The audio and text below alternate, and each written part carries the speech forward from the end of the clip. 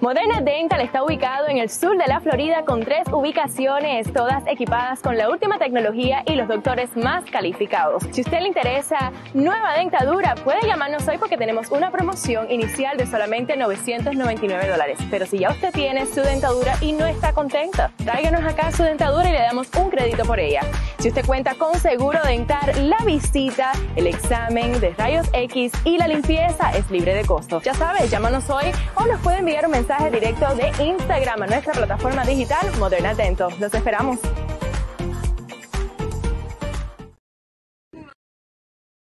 Una casa, un apartamento, un perterrio, un, un, terreno, lo que tú quieras, que quieras comprar, barato, bonito y, y económico.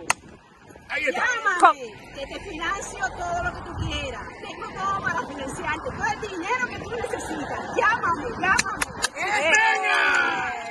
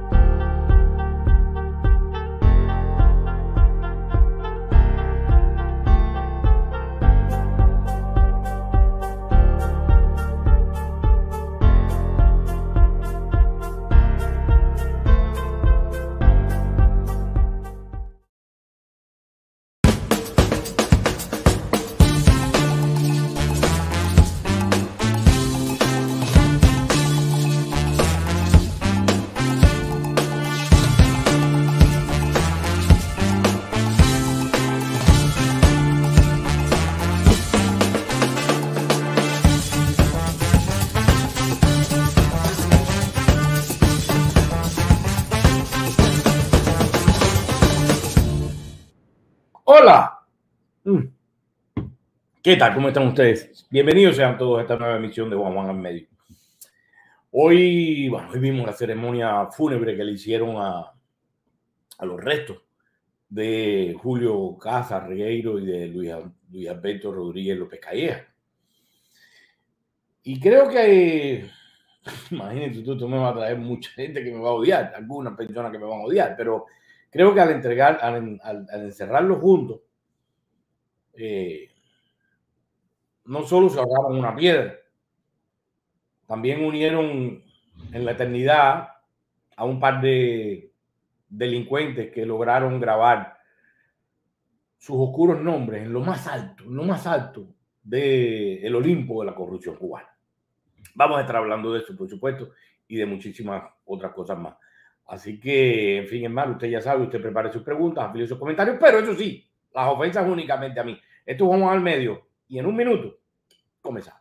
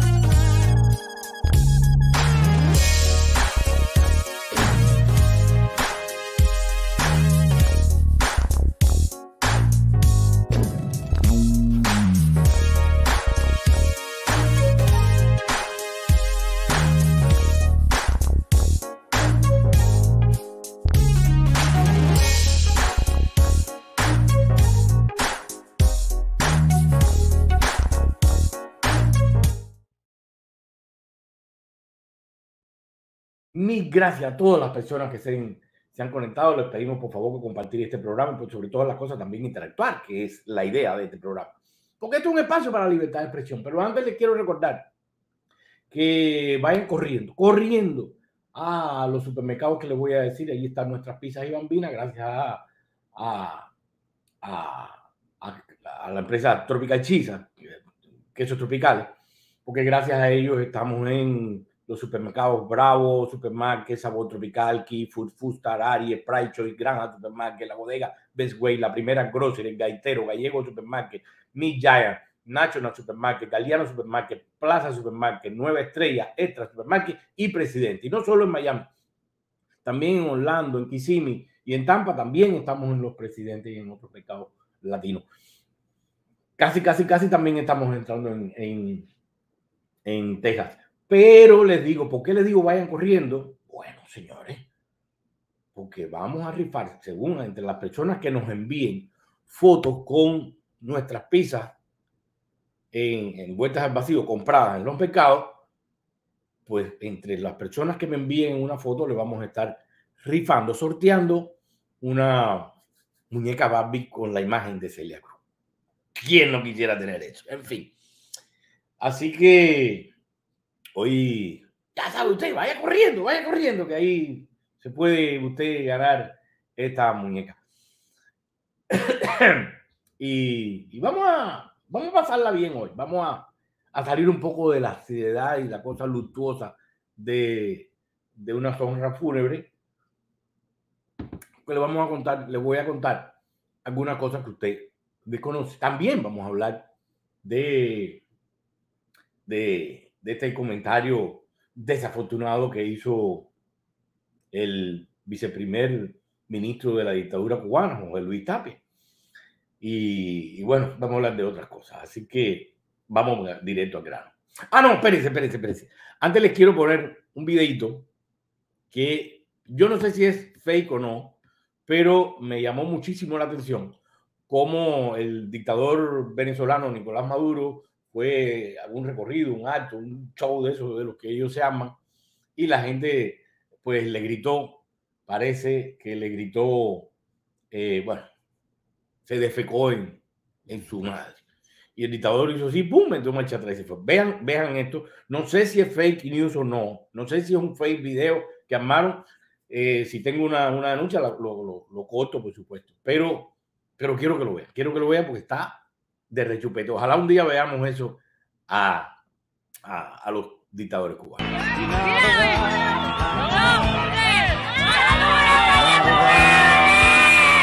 Y se marchó.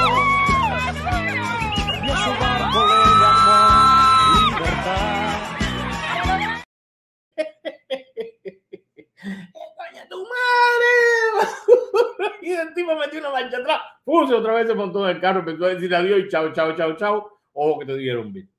Ay, caramba, me divierte mucho cuando la gente le puede gritar esas cosas directo y los dictadores lo escuchan y sienten que no son tan populares como, como a veces ellos se inventan o como les hacen creer su séquito de obedientes. Pero en fin, vamos al tema cubano. Eh, el otro día, el, el vicepresidente, el viceprimer ministro cubano, José Luis Tapia, eh, rompió las redes sociales, las hizo estallar, haciéndose viral con un comentario que hizo en la recién concluida sesión del Parlamento cubano. El dirigente cubano, José Luis Tapia, que además es licenciado en economía y máster en dirección, no sé dirección de qué, y que inició su vida laboral en la cantera de piedra Santiago Ramírez de Palmira, a unos 12 kilómetros de Cienfuegos, dijo que en un espacio de pocos metros cuadrados, los cubanos podrían hacer acuicultura y, y digamos que sortear la crisis alimentaria. Mucha gente se ha burlado del payaso este, pero la verdad es que como una iniciativa no, no es muy descabellada la, la idea. Ahora bien, Ahora bien, porque aprovechar espacios de vecinos para agricultura urbana podría ser un paliativo bastante sensato. Pero claro, si eso lo dijera un sueco, parecería una idea normal. Pero dicho por este caballero, Luis Tapia, y con esa furor que lo dijo, se me hace un poco irónico. Porque para la fomentación de esos estanques, para criar clarias, lo primero que se necesita no es precisamente la voluntad, ni siquiera lo más importante es el cemento para hacer los estanques, ni siquiera los alevines de claria o de los otros peces que vayan a, a criar ahí. No, no, no, no. Eh, lo primero que se necesita, José Luis Tapia, para fomentar ese tipo de agricultura urbana es el agua. Y la verdad yo no sé si Tapia sabe que según datos oficiales, incluso publicados en el Granma, 132.877 residentes en La Habana se encuentran ahora mismo sin servicio de agua. Y no solo sucede en La Habana, no, no, lo mismo está sucediendo en Santiago de Cuba, en Camagüey, en Granma, en Santi Espíritu y en otros lugares de Cuba. Coño Tapia, lee Granma, brother, lee Granma. Y si no lo lees, bueno, al menos pregúntale a tu asesor favorito, el coronel Lester. Sí, porque si usted no lo sabe, debería saber que todo dirigente que se respete debe tener un muy buen, oye, muy, muy, muy comprometido asesor. Y Tapia tiene el suyo, Leste. Bueno, lo tenía hace un tiempo, no sé si ahora en este mismo momento que estamos hablando todavía lo tiene, pero no solo su asesor, en su junta de corruptel y todo eso. Les cuento, porque aquí todo el mundo tiene un pasado que necesita ocultar y Tapia tiene de él.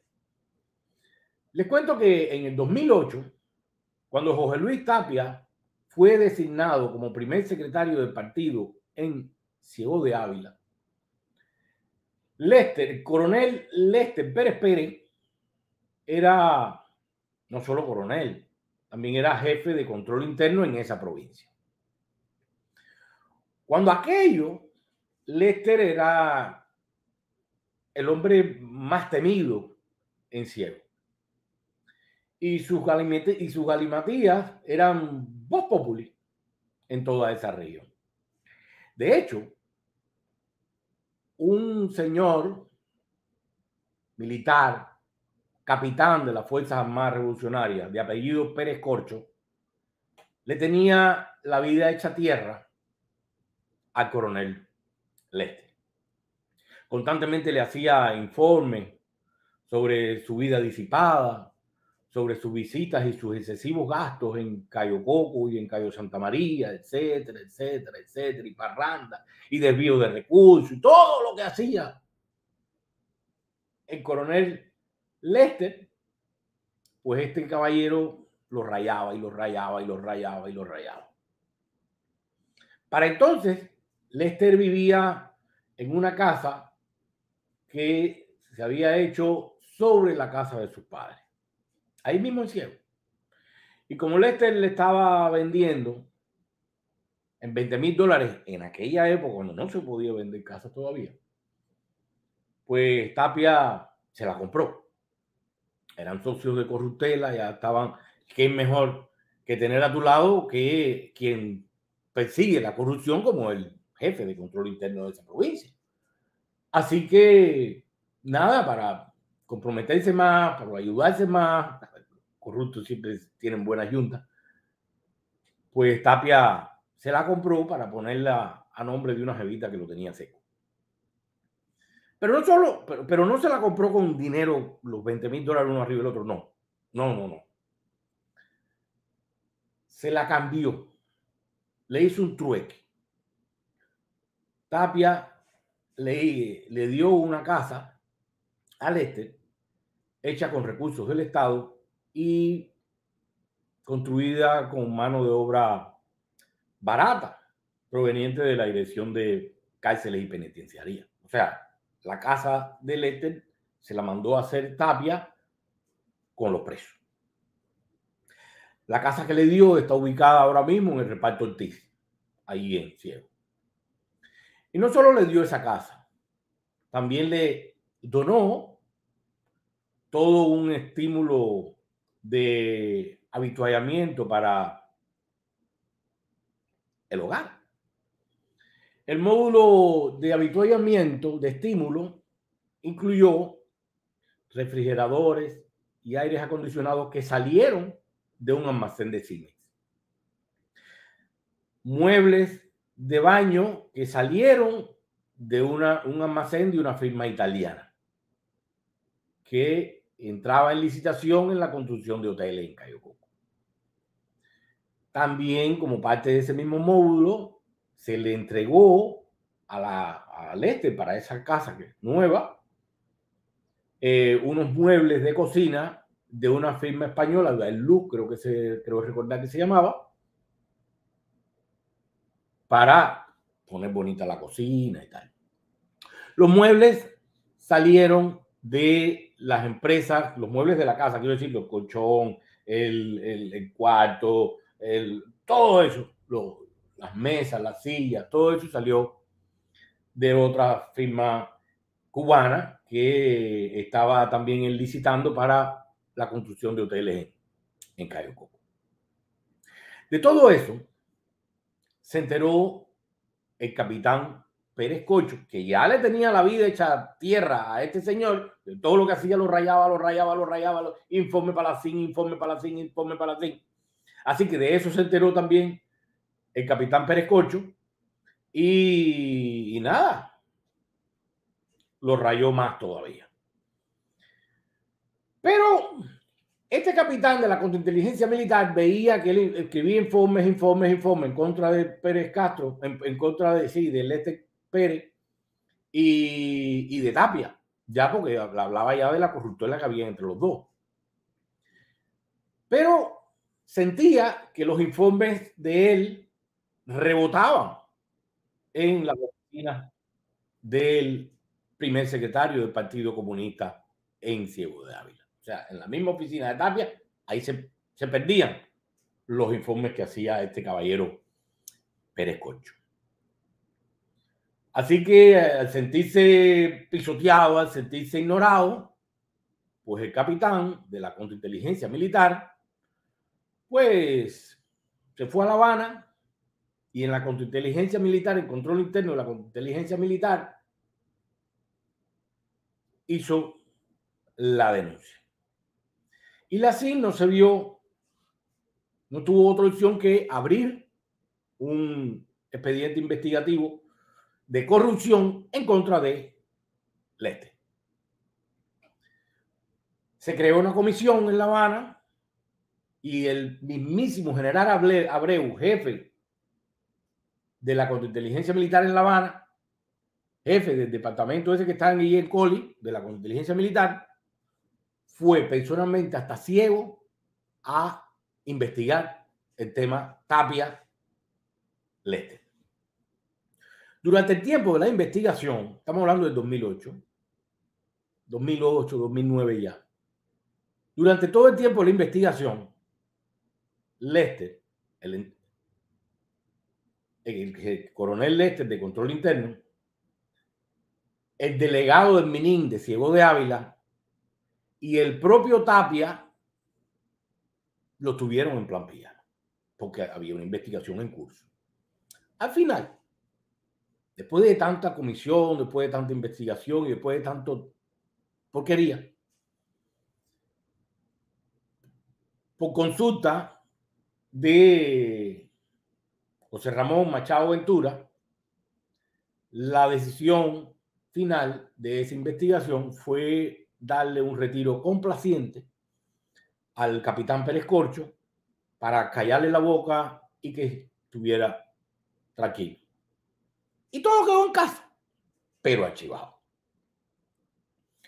Eso sí, Jorge Luis Tapia tuvo que dejar por escrito que todos los gastos usados para la casa y el habituallamiento de la casa que le regaló a, Tapia fueron sacados del presupuesto estatal que tienen los primeros secretarios de las provincias para entregar estímulos a ciertos funcionarios por labores excepcionales.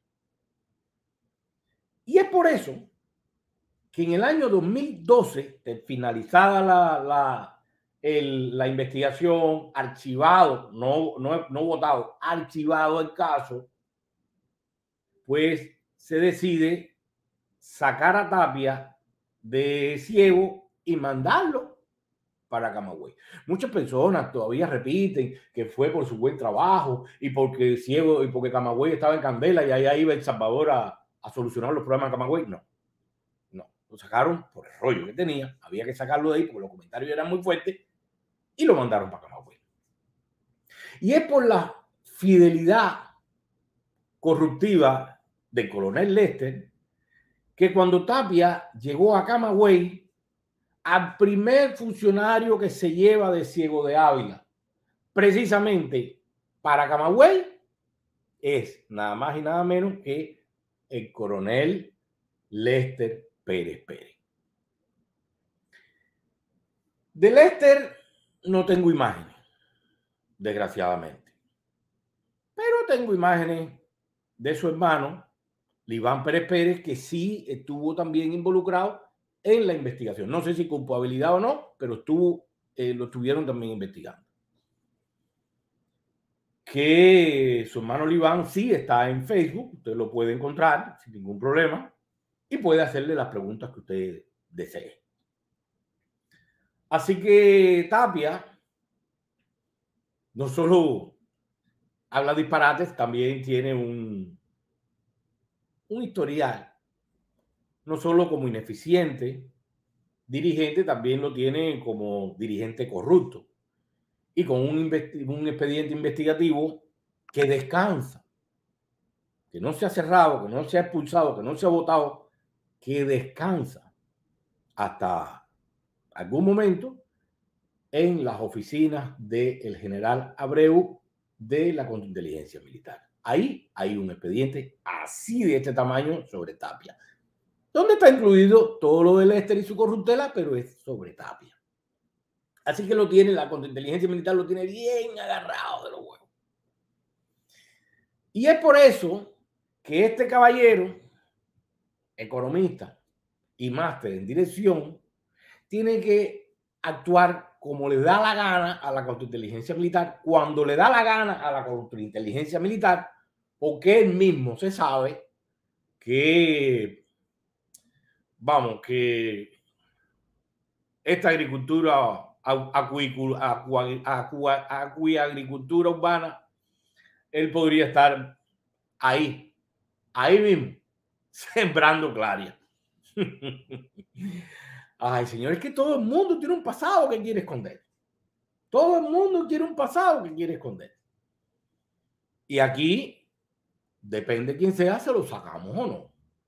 Pero Tapia, coño, antes de decir esas cosas, aunque seas enviado, aunque seas mandado, que te tengan presionado, coño, respeta, respeta a la gente que te está viendo. Digo, únicamente para que te respeten a ti, ¿no? Porque así son, van las cosas. En fin, nos vamos a un corte.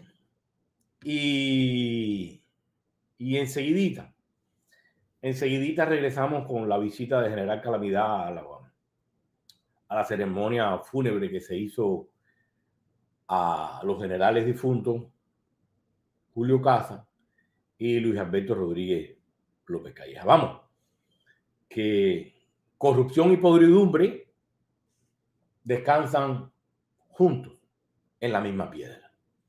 Por favor, que a nadie se le ocurre tocar esa, esa piedra, porque si despiertan esos espíritus, ay Dios mío, en fin, nos vamos un corte, enseguidita, enseguidita regresamos. Moderna Dental está ubicado en el sur de la Florida con tres ubicaciones, todas equipadas con la última tecnología y los doctores más calificados. Si usted le interesa nueva dentadura, puede llamarnos hoy porque tenemos una promoción inicial de solamente 999 dólares. Pero si ya usted tiene su dentadura y no está contenta, tráiganos acá su dentadura y le damos un crédito por ella. Si usted cuenta con seguro dental, la visita, el examen de rayos X y la limpieza es libre de costo. Ya sabes, llámanos hoy o nos puede enviar mensaje directo de Instagram a nuestra plataforma digital Moderna Atento. Los esperamos. Sí, dice, dice por aquí el Tinajón caliente, Tinajón seguramente de Camagüey. Dice que cuando Tapia estaba como primer secretario del partido en Camagüey, fue cuando más corrupción había en la provincia, hasta ese momento.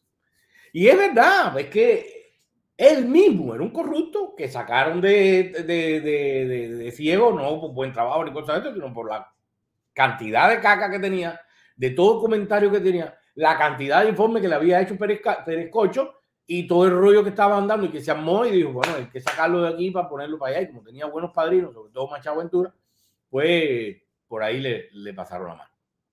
Eh, se escucha perfecto, gracias. Eh, por eso me parece de un cinismo y una burla mayúscula eso de que mande a la gente a criar peces en los patios de la casa. Por supuesto que no, no, vaya, no, es, una, no, no es un cinismo, es una falta de respeto cruda, burda y no voy a seguir usando porque me complico. Eh, vamos a poner un estanque en la bambina. Acá peonía. Sí, vamos a poner un estanque para tenerlos a todos ellos. Ese señor con esos planteamientos le ha faltado el respeto a todo un pueblo y nadie en esa reunión lo mandó a callar por las estupideces que estaba diciendo. Bueno, quizás, quizás, recuerda que él está muy agarrado de los huevos por la contrainteligencia militar. Él, él, tiene que hacer y decir lo que le dicen. Él tiene un expediente gigantesco en la contrainteligencia militar, que no se usa en su contra hasta, Recuerden que en Cuba todo el mundo es bueno, digo, todos los dirigentes son buenos, hasta que al Santo Grial se le ocurra decirle hasta aquí eres bueno. Mm, patria vida, Cuba Libre. Un abrazo, Pedro. Eso fue igual que lo que dijo La Piedra en su tiempo del Café Caturra. Uy, ¿te acuerdas aquello del Café Caturra cuando dijo que había así mismo en todas las casas? Ustedes, bueno, también han, dicho un montón de cosas. Recordemos cuando mandaron a criar los pollitos aquellos que le decían Pérez Quintosa. En fin, aquello Cuba ha sido un desastre siempre. Eh, mm, mm, mm. Por eso no es nuevo hace años Ah, pero eso no es nuevo. Hace años yo vi un video de San Miguel de Padrón, un tipo que hizo un estanque. Sí, claro, claro que no es nuevo. En el mundo entero existe la agricultura. En el mundo entero existe también. En un momento, ¿verdad? Que y hubo, creo que un criador de claria famosísimo. Creo, no, no creo que era San Miguel de Padrón, creo que era por allá, por donde están las casas del tren de Helsi, para allá arriba, por el Camilo Fuego. Eh, por allá creo que es por donde estaba el criadero aquel famoso de Claria y todo ese rollo. Eh, y experimento hacer una pizza de Claria. No, vamos, tú me quieres quebrar. Cruz, eso es una falta de respeto al pueblo de Cuba. Criar peces y también Lazo va a criar. JJ, el expediente de Tapia está en la mesa del tuerto. Estaba en la mesa del tuerto. Sigue, o sea, el tuerto tuvo que procesarlo porque en aquel momento él estaba en él. Pero ahora está, eh, eso pasa, usted sabe. Se quedó ahí en, en, en la oficina de ahí de, de, de Coli, de, de la inteligencia militar, donde el jefe es el general Abreu. Ahí está. Ahí está su, su espada de Damocles. Claro, eso no quiere decir que otros funcionarios de, de, cierto poder, como el cuento, puedan tener una copia para divertirse y de vez en cuando decirle, oye, mira, se me cayó este papelito y enseñárselo y, y que el tipo tiemble cuando, cuando vea esas cosas. Eh, está rodeada de mal. Sí, pero habla, claro. Ese mismo en Hesse. En Hesse, sí, sí, sí. Yo recuerdo, ahí arriba, por el central Camilo Cienfuegos, ahí es donde estaba el, el héroe, que lo hicieron héroe de, la producción y todo, por aquel disparate que, pero en fin. Eh, eso fue en Kojima, un chino. No recuerdo ahora si era un chino, no recuerdo ahora. Saludos todos. Claro que no faltó el respeto a todo. Claro que no faltó el respeto. Esa gente no, no es que no falte respeto, esa gente no siente ningún respeto, por en cualquier momento nos mandan a cazar y en vez de CDR hay cacique. Bueno, ya eso lo hay. JJ, ya la última que han dicho, es vir. Ya lo último que han dicho, es vir. No, no crea, porque también habló de, de las palmas, de cogerlo, cada vez que tengo un grupo de palmas, pues usarlo para palmiche en La Habana. Y bueno, sabemos poco por Quinta Avenida hay sobre todo para, para el final de, Quinta Avenida, por allá por la escuela de química, hay muchas palmas. Igual para alimento para cerdos, pues igual ponen, según la teoría de, de este, llevar todo ese tipo de producción a, a la ciudad, pues también pueden poner una granjita de puerco en el separador central de Quinta Avenida y que vivan de, de esos panmichi que cuelgan de esas pan. Puede ser una idea. En cualquier momento la suelta. Eh, Juan Juan, en Jersey sí había una familia que criaba clarias, los chinos de Jersey. Yo los conocí, es cierto, y eran vanguardias y todo. Ah, no, Yo no recuerdo si era, si era chino o no, no, no recuerdo ahora la cara del señor. Pero sí recuerdo todo aquel movimiento de, de eso y que el tipo salía cada rato por el noticiero y a mí me tenía aburrido aquel, aquel, aquel señor diciendo que era el héroe del trabajo y no sé qué y no sé cuándo por criar claria. Y las clarias fueron un invento. Que, que, que- que se trajo Raúl para Cuba cuando éramos muchachos todavía, en el laguito, ahí en el mismo centro del laguito, pusieron unos criaderos, unas mallas grandes, donde ahí trajeron alevines de Claria, de Tenca, de Amura. Y cuando hubo un ciclón o, una inundación grande, que tuvieron que abrir las compuertas del laguito y que se inundó todo aquello y trajo un montón de, pérdidas a la población. No sé si ustedes recuerdan aquella inundación. Salió por el periódico y todo. Cuando tuvieron que abrir con las compuertas, aquellas mallas de, la, de, las, de las jaulas de, de Tenca y Amura y de y Tenca, Amura y Claria, se rompieron y es precisamente por eso que se contaminó todo el Kibú y, por ahí otros ríos y otras cosas de, de la cantidad de clarias que hay ahora mismo en Cuba, porque es una, una especie invasora. Invasora la trajo Raúl Castro. Eh, acabo de ver por primera vez macarrones con sabor a moringa. Tengo que enviarte esa foto. Bueno, bueno, cuando a, a, Ulises Rosales del Toro destruyó el Ministerio de, de del Azúcar, que bueno, de hecho desaparecieron el Ministerio de Azúcar, y lo pusieron frente a la moringuería, creo que Tapia estuvo sustituyéndolo por ahí un, tiempo. Eh, pan miche para el café. No sé si para el café o para los puercos, pero es la misma porquería. Dijo que vieran cuántas palmas habían por municipio. Bueno, ahí en Quinta Avenida hay muchas, hay muchas, ahí en, sobre todo cuando usted va por Quinta Avenida, a la altura de, de la escuela de, de la escuela de química, ahí esa parte ahí tiene un montón de, de palmas. Así que por ahí, ahí pueden poner la cochiquera en la misma escuela de química. O ahí en Quinta Avenida, en el separador, en el separador frontal, central, o en Flores, que está ahí mismo cerquita, en la inmobiliaria esa que tienen ahí. Ahí pueden poner los, los, criaderos puercos. JJ, ya sabemos por qué los cubanos nunca vieron el primer avestruz. Se lo comieron las claras. En la finca de mi padre se hizo un estanque donde criaban tilapia.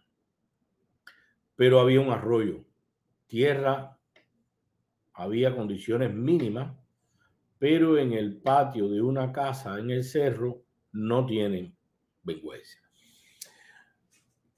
En el mismo laguito recordó que, que había mucha tilapia. Y por las noches salíamos, a Raúl cuando le gustaba eso, salíamos con un buscachivo y arpones y desde la tierra, no buceando ni nada de eso, desde la tierra, desde la orilla, de las márgenes del laguito, pues poníamos así el, el buscachivo y la encandilaba las tilapias y ¡puf! la cogíamos y después las hacíamos y esas cosas. Recuerdo perfectamente eso. Eh, no dijeron que en Cuba ligaban el palmiche con café. Ay, mira, en Cuba pueden decir mil cosas. Yo recuerdo que cuando el periodo especial, una vez llegué a Santiago de Cuba. Y estando en Santiago de Cuba, en el periódico Sierra Maestra, por ahí tiene que estar el periódico, porque esas cosas no se, no se, no se borran. En algún lugar tiene que estar. Había un artículo que hablaba de picadillo de, de panmiche, de cómo hacer picadillo con la cáscara. Usted sabe que el panmiche tiene una cascarita ahí medio dulzona. Y, y era de eso tenían que hacer el picadillo. Era todo es una falta de respeto. Eh, Barbatruco fue el primero que no respetó al pueblo. Ni Barbatruco ni nadie ha respetado a su pueblo. Que vengan y que compren al hijo de Manuel Díaz para que Llenar siga construyendo. En Quinta Avenida hay mucho corojo, seguro, seguro, seguro, eso no lo deben tumbar ahí hace 500 años.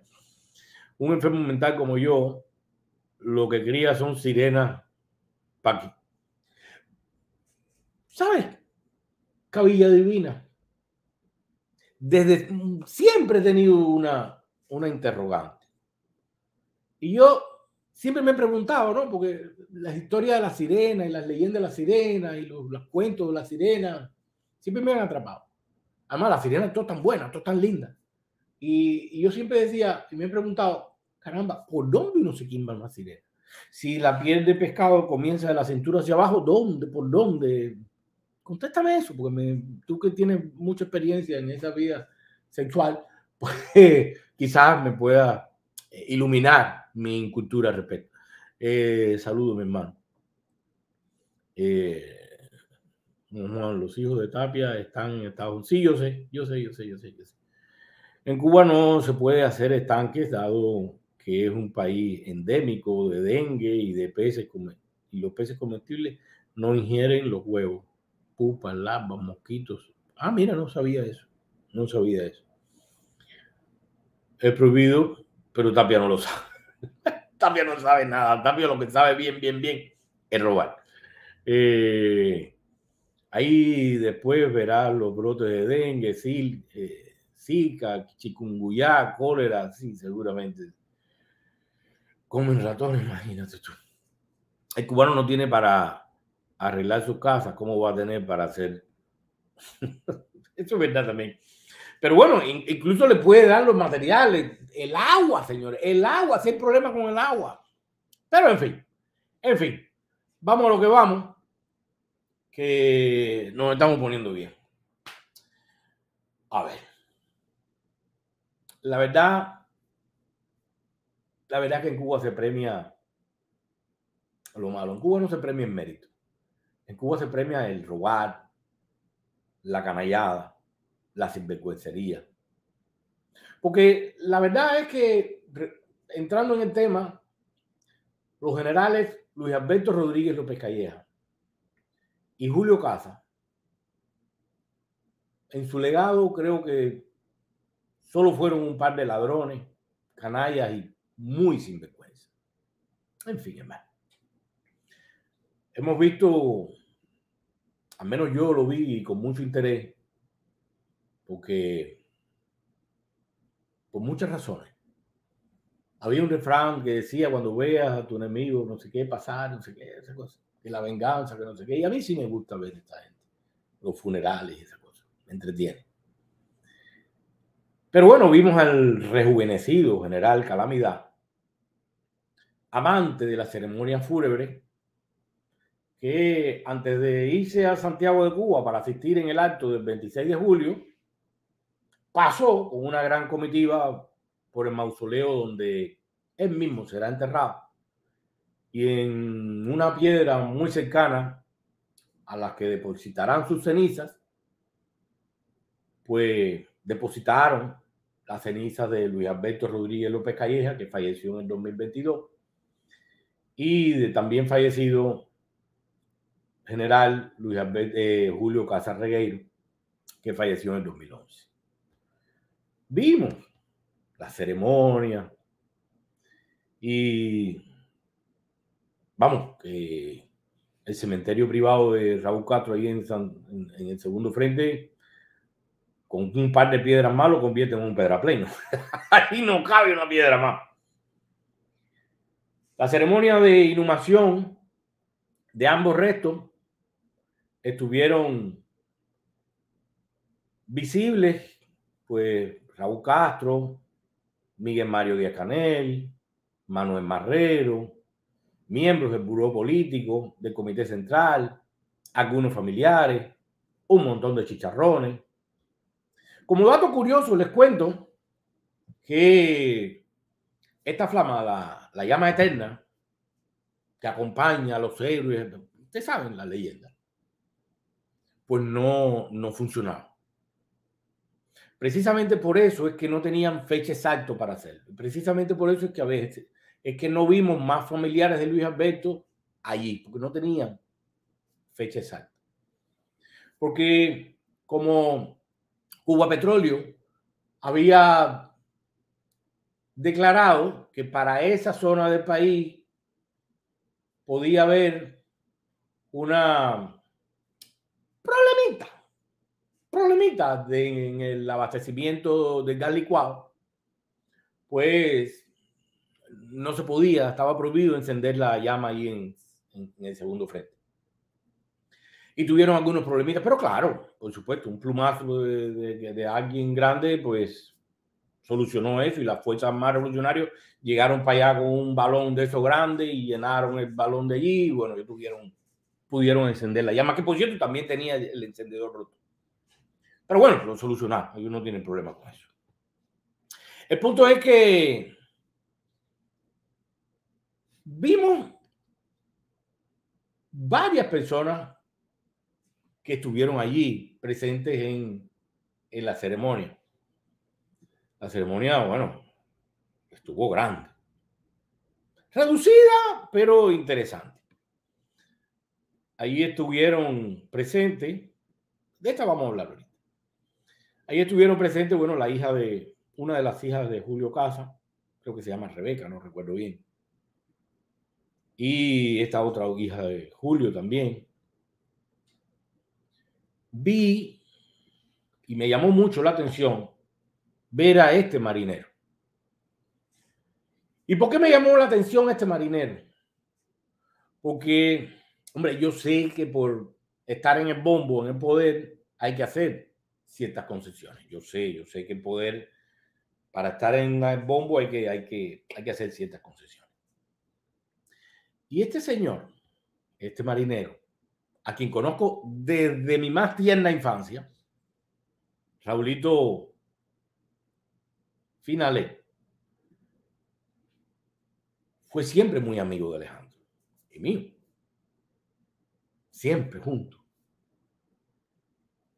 Pero a Raulito lo votó de GAE Luis Alberto Rodríguez López. Le hizo la vida mierda. Claro, por su amistad con Alejandro y su casi familiaridad, eso es verdad, con Raúl Castro, pues fue Raúl que mete la mano y lo regresó por encima de las decisiones de Luis Alberto.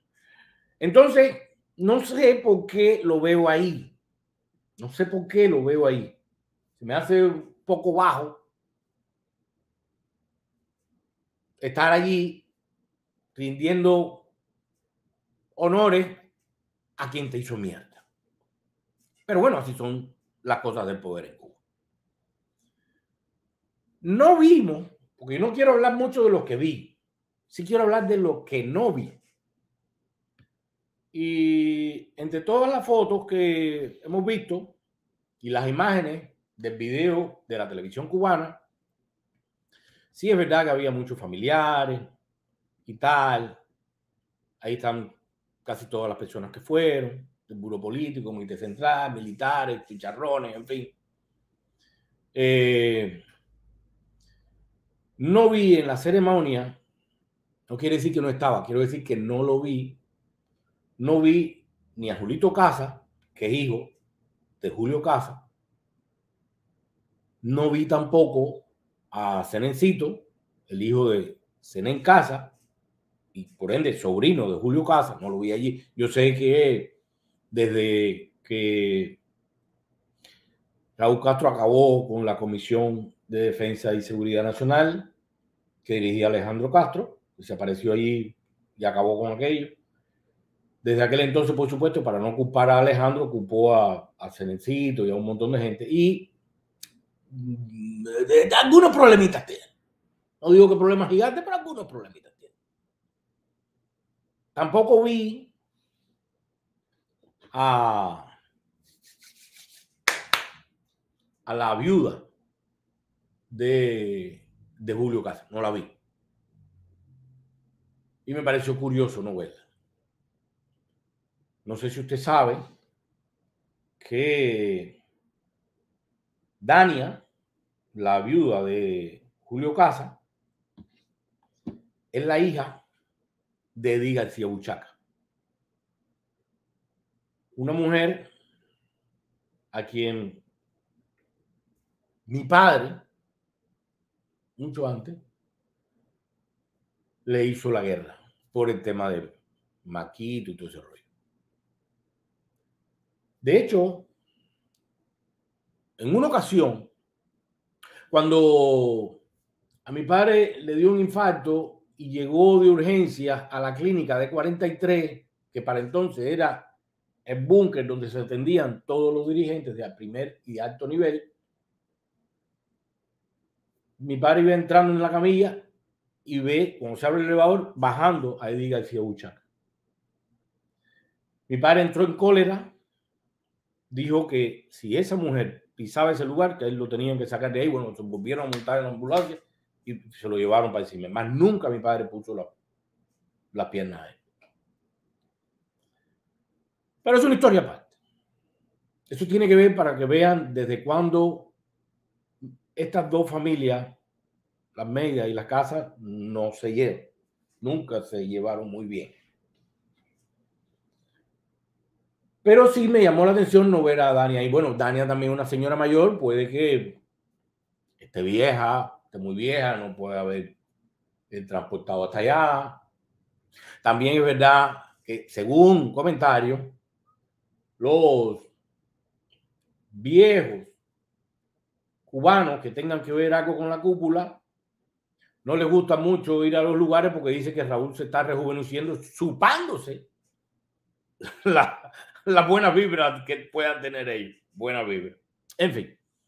También me llamó la atención no ver, aunque era esperado, pero eh, no ver a Alejandro Castro Espín. En todo, ninguna de las fotos aparece Alejandro Castro Espín.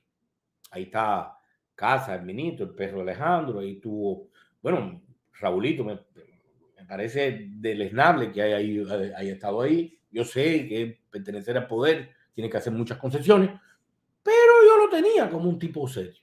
Ya veo ya que es otro despampajo más. Pero bueno, me pareció interesante que le comentara que Alejandro Castro Espín no, no se le ve por allí porque claro, es imposible, porque al menos hay que tener un poquitico de, de, respeto hacia sí mismo.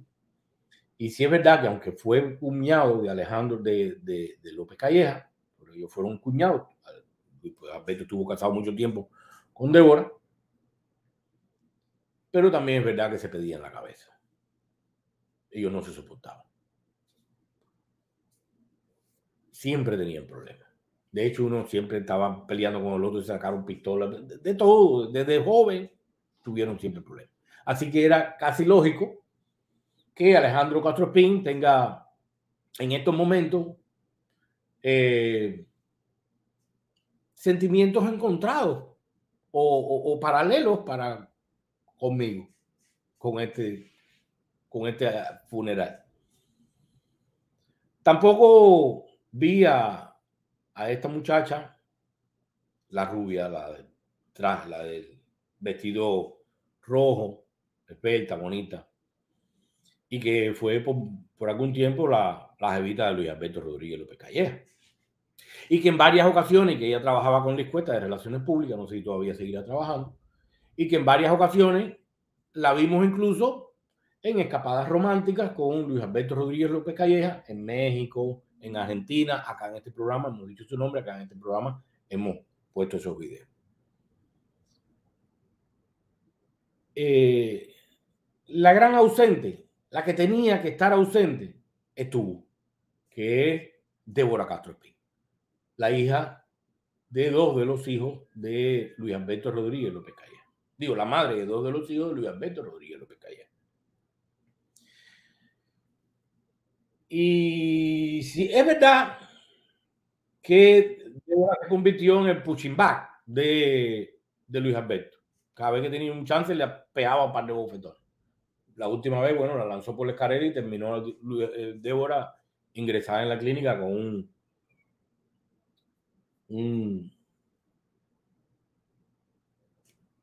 temas severos en, en el cráneo.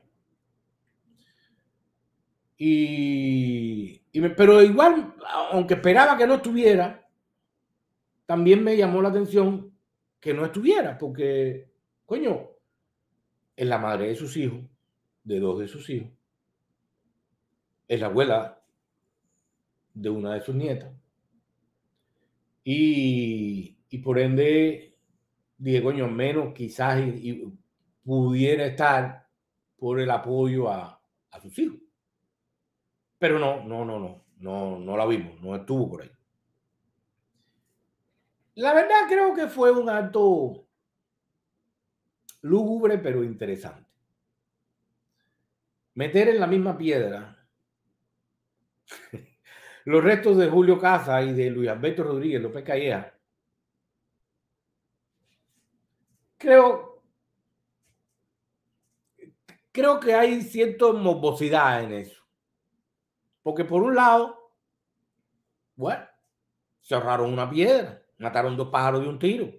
No estoy diciendo que sea pájaro porque yo sé bien las leyendas suburbanas de la cúpula castrista que decían que, que Raúl Castro estaba enamorado o estuvo enamorado de Julio Casa. Yo sé esa historia bien.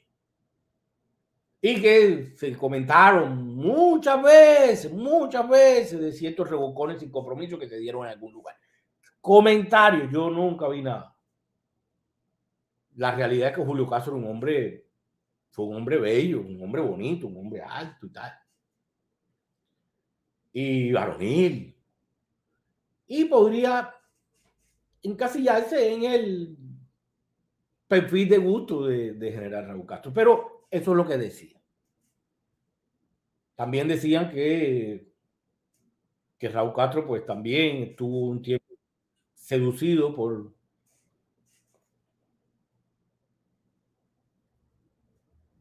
por el engalamiento de, de Luis Alberto, que también era un muchacho bonito, atractivo, simpático. Corto pellejo, pero por eso le decían el invisible, pero bueno, eso no, no, no viene al caso ahora, no se puede hablar tanto de los muertos. Pero en fin, creo que enterrarlos juntos mataron dos pájaros de un tiro, en, sin doble sentido la palabra pájaro. Y mucho menos con un matiz homófobo, no. Y digo que mataron dos pájaros de un tiro porque, hombre, se ahorraron una piedra. En vez de enterrar dos piedras para convertir aquello en un Pedro Aplenco, pues va- van de dos en dos en cada piedra.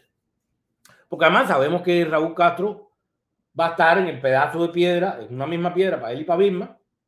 Y, y bueno, está bien que ahora empiecen como, como nota curiosa que empiecen a enterrar ahí a, los, a la gente de, de dos en dos. Hay que ver a qué dos empiezan a, a juntar. Así que se ahorraron una piedra. Y además es cierto reconocimiento porque en realidad Julio Casa fue el mentor y el creador del monstruo que llegó a ser Luis Alberto Rodríguez López Calleja. No por gusto, Lázaro Espósito, cuando estaba en Santiago de Cuba y veía aparecer a este dúo, a Luis Alberto Rodríguez López Calleja y a Julio Casa, cuando a vez, cada vez que los veía juntos, Lázaro decía, y era comentario de todo el mundo allí, que Lázaro decía, estos son como el oro y el esclavo. El oro y su esclavo. El primero lo corrompe todo. El segundo ya está corrompido. Y eso, eso eh, lo, que lo que decían de Lázaro Espósito cada vez que, que, lo, que veía estos dos personajes en su predio en Santiago de. Así que al enterrar juntos a Julio Casa Regueiro y a Luis Alberto Rodríguez López Calleja, no solo ahorraron una piedra, también encerraron para siempre unidos en la eternidad los espíritus de dos tremendos delincuentes que en vida estuvieron junticos, junticos siempre. Eh, sorteando y triunfando todas las batallas victoriosas de la corrupción cubana. Y juntos hicieron todo lo posible por clavar sus oscuros nombres en el gran Olimpo de la corrupción cubana. Si existiera un corruptómetro, hombre, estos dos cadáveres se llevaran el premio número uno de todos los corruptos cubanos. Mira que en Cuba hay corruptos. Pero estos dos, como estos dos, no lo supera nadie, yo creo. Habría que ver, habría que ver. Claro, Raúl Castro a la cabeza, ¿no? Pero él es- está por arriba de. Él sería el que entregue los premios, no puede participar. Así que creo que los dos se llevan. e- Esa es la piedra. Mira, la piedra de Fidel usted la puede botar para no sé dónde. La piedra de Saúl Ibirno usted puede hacer lo que quiera con el La de Gade puede hacer lo que quiera con el La. Un montón de piedras que van seguramente veremos allí poner. Pues puedo hacer lo que quiera. Pero con esa piedra, por favor, no la toque. Porque el espíritu que tiene dentro, el par de espíritu ese corrupto, si sale, contamina aún más la sociedad cubana. Cuidado con esa piedra. Esa piedra, déjenla. Esa piedra deberíamos cavar, enterrarla, poner un nicho ahí y que nadie toque eso. Que nadie se le ocurra tocar eso. En fin. Carlos Novo, caramba. Me hubiera gustado ir a despedir a Buy y tal perra de Luis de Calleja. Peor fueron los casos. Asegúrame que estaba muerto un arrastrado. Carlito, gracias por estar presente. De verdad, te lo agradezco mucho. Sabes que te quiero mucho. Eh, y es que yo creo, quiero, y quiero darle un beneficio de la duda a, a, a Raulito Finales. Porque coño, porque lo conozco desde niño, sé de la fibra que está hecho. Yo sé que el poder corrompe a la gente, yo sé que hay que hacer concesiones, yo sé todo eso. Pero quiero pensar, porque que él le llevaba demasiadas cosas a Luis Alberto, demasiadas cosas a Luis Alberto. Así que quiero pensar que en ese plan está ahí, cumpliendo con la gente, pero en su yo interno, en su foro más interno, está diciendo, qué bien ver esto. Me encanta. Claro, si vemos las imágenes, si vemos las imágenes, mira cómo Raulito está, no sé por qué se me hace que está un poquito feliz. No sé por qué se me hace que está un, un poquito feliz. Pero bueno, eso es lo que me parece a mí. Y quiero pensar que precisamente tiene alguna eh, alegría interna, de alguna manera. Esa dictadura cubana, los verdaderos traidores del pueblo han sido los jefes de Cuello y Combata. Bueno, Cuello y Combata no, porque los militares no usan eso. Una triste historia cubana. La cúpula, la cúpula no, la crápula, están viviendo como millonarios y el pueblo en la miseria. Y estos dos, estos dos, Luis Alberto y, Julio, a la cabeza de la corrupción. Ah, pero a la cabeza, a la cabeza, a la cabeza. Yo te digo, me gustaría preguntarle a Carlito Novo qué cree él, porque conoce también muchas interioridades de esa, aunque hace muchos años de juego. Pero me gustaría saber si, si hay comparte que, que así de los tantos corruptos, a ver, Machado Ventura, yo creo que es uno de los tipos que más daño ha hecho en ese país, sin duda. Pero en igual a corrupción, aunque es un corrupto, pero no, no ha sido en una en un corruptómetro creo que siguen ganando los, los Casas y, y los Pecayas. Creo que están por mucho, por mucho lo superan. Con la piedra de Aladino al infierno. No sé. ¿Cómo se forman los estelares dirigentes cubanos? ¿Es una pregunta o una respuesta? No, no entendí. ¿Cómo se llama el cementerio comunales. Yo creo que ese es el cementerio del segundo frente, el mausoleo del segundo frente, así se llama. Y bueno, ya le pueden llamar el Pedraplén, porque y van a poner más piedra que carajo. Eh, esa es la piedra que los cubanos tienen en su camino. Pero bueno, seguimos luchando y pidiendo a Dios que nos ayude. Gracias por estar. Virginia Villalonga. Pero si no tienen agua ni comida para los peces, no, es fantasía de este hombre que tiene que decir lo que le da la gana. Pero yo no veo al cangrejo ahí. Sí, sí, sí, el cangrejo estuvo ahí. Estuvo ahí vestido de militar, todo muy marcial. A cargo la, la cajita con lo que presumiblemente deben ser las la cenizas de Luis Alberto se la dieron tapada porque no vaya a hacer que se lo esnifara. Y sí puso una flor, tuvo, después tuvo la hermana que puso también su florecita y todo, todo muy lustoso, todo muy, todo muy bonito, muy ridículo, ridículamente. Juan, los padres de Senén vivían en Quibical, Quibical, sí, yo sé. Ok. Buenas noches, buenas noches. Saludos a todos, hermano. Me tienes esperando tu llamada caramba, discúlpame, que estaba ocurriendo con esto de la mudada de la bambina y que las producciones eh, han dado corriendo, pero te llamo, te llamo, te llamo. Coño, con tanto énfasis, cuenta de la corruptera. A ver, el, el episodio, desde mi punto de vista, seguramente hay otros mayores que no conozco pero el episodio más legendario en la historia de la corruptela en Cuba, entre los episodios, para mí el más significativo, fue cuando Julio Casas y Luis Alberto Rodríguez López Calleja pidieron un presupuesto gigantesco para comprar cuatro aviones Grumman privados para servicio ejecutivo en Cuba.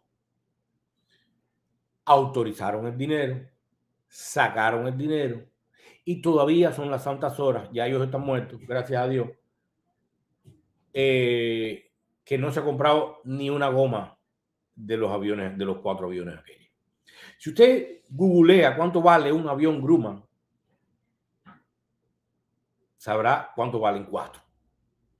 ¿Y cuánto vale que no se ha comprado ni una goma de eso y el presupuesto nunca regresó a las arcas del Estado? Se esfumó. Como paliativo, construyeron unos hangares que todavía están llenos de hierba y vacíos en la pista del aeropuerto José Martí y allá en, en el aeropuerto Baracoa, que era donde iban a descansar los aviones Grumman. Para mí eso fue el acto más significativo en la historia de la corruptela en Cuba, si usted saca la cuenta. Pero claro, hay otros actos como el, el, el nexo entre los franceses y Bouillet y, y Gaviota en las megaconstrucciones de, de hoteles en Cuba, donde para ganarse su dinerito, pues lo que hacían era subían el precio de la construcción, le daban a cada ladrillo un precio irrisorio, Gaviota pagaba, el francés se lo limpiaba y se lo depositaba afuera. También hemos estado hablando de eso. Soy, yo soy de Cárdenas Varadero y desde los 80 los finales acabaron en, mi ciudad. Yo los conozco perfectamente bien digo, no perfectamente bien, ya yo no los conozco. Al ver a, estas cosas, yo no los conozco. Eh, pero cuando los conocí, me parecía una cosa verlo como amigos y otra cosa es verlo del otro lado. No se ve igual la, manzana desde el cielo que desde el suelo. Pero eh, siempre me parecieron, estoy hablando de muchachos, ¿no? Siempre me parecieron simpáticos, agradables, buenos amigos. Raulito es un tipo que se crió entre militares, desde abajo, desde el suelo. Y entonces no creía que dándole ciertas responsabilidades fuera a olvidar su pasado. Yo nunca lo vi como un corrupto, ni a él, ni a Kiki, ni a, no, a su papá, ni, a sus hermanas menos, que a y la otra no me acuerdo cómo se llamaba. Martica, no me acuerdo. Y sí, los conozco desde hace muchos años, pero ya veo que no los conozco muy bien. Los padres de Zenén vivían aquí Vicam.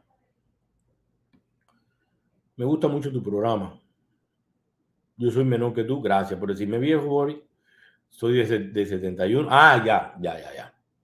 Pero tengo un familiar muy allegado a Juan Escalona. Ay, Dios mío. En el tiempo que fue fiscal general, ¿cómo me hago miembro de tu programa? Bueno, para hacerte miembro de mi programa, nada más que tienes que entrar ahí, inscribirte y ya, es gratis. Hay maneras de hacerte miembro de alguna de las posibilidades de comprar alguna membresía que también son muy bastante económicas. Nos ayudan mucho. Eh, un día, si quieres, hablamos de, de Juanito Escalona, mi madre. Eso es. Tiene que ser un, un programa especial para él. Porque un hombre que le haga el daño que le hizo él, bueno, de eso, vamos a hablar en otro programa, para una de sus hijas, que hasta le quitó su casa. Hombre, hay que, hay que ser un gran hijo de pero grande, de lo grande. Muchos no conocemos las corrupciones de las cosas. No conocemos la corrupción de las cosas. Ah, no importa.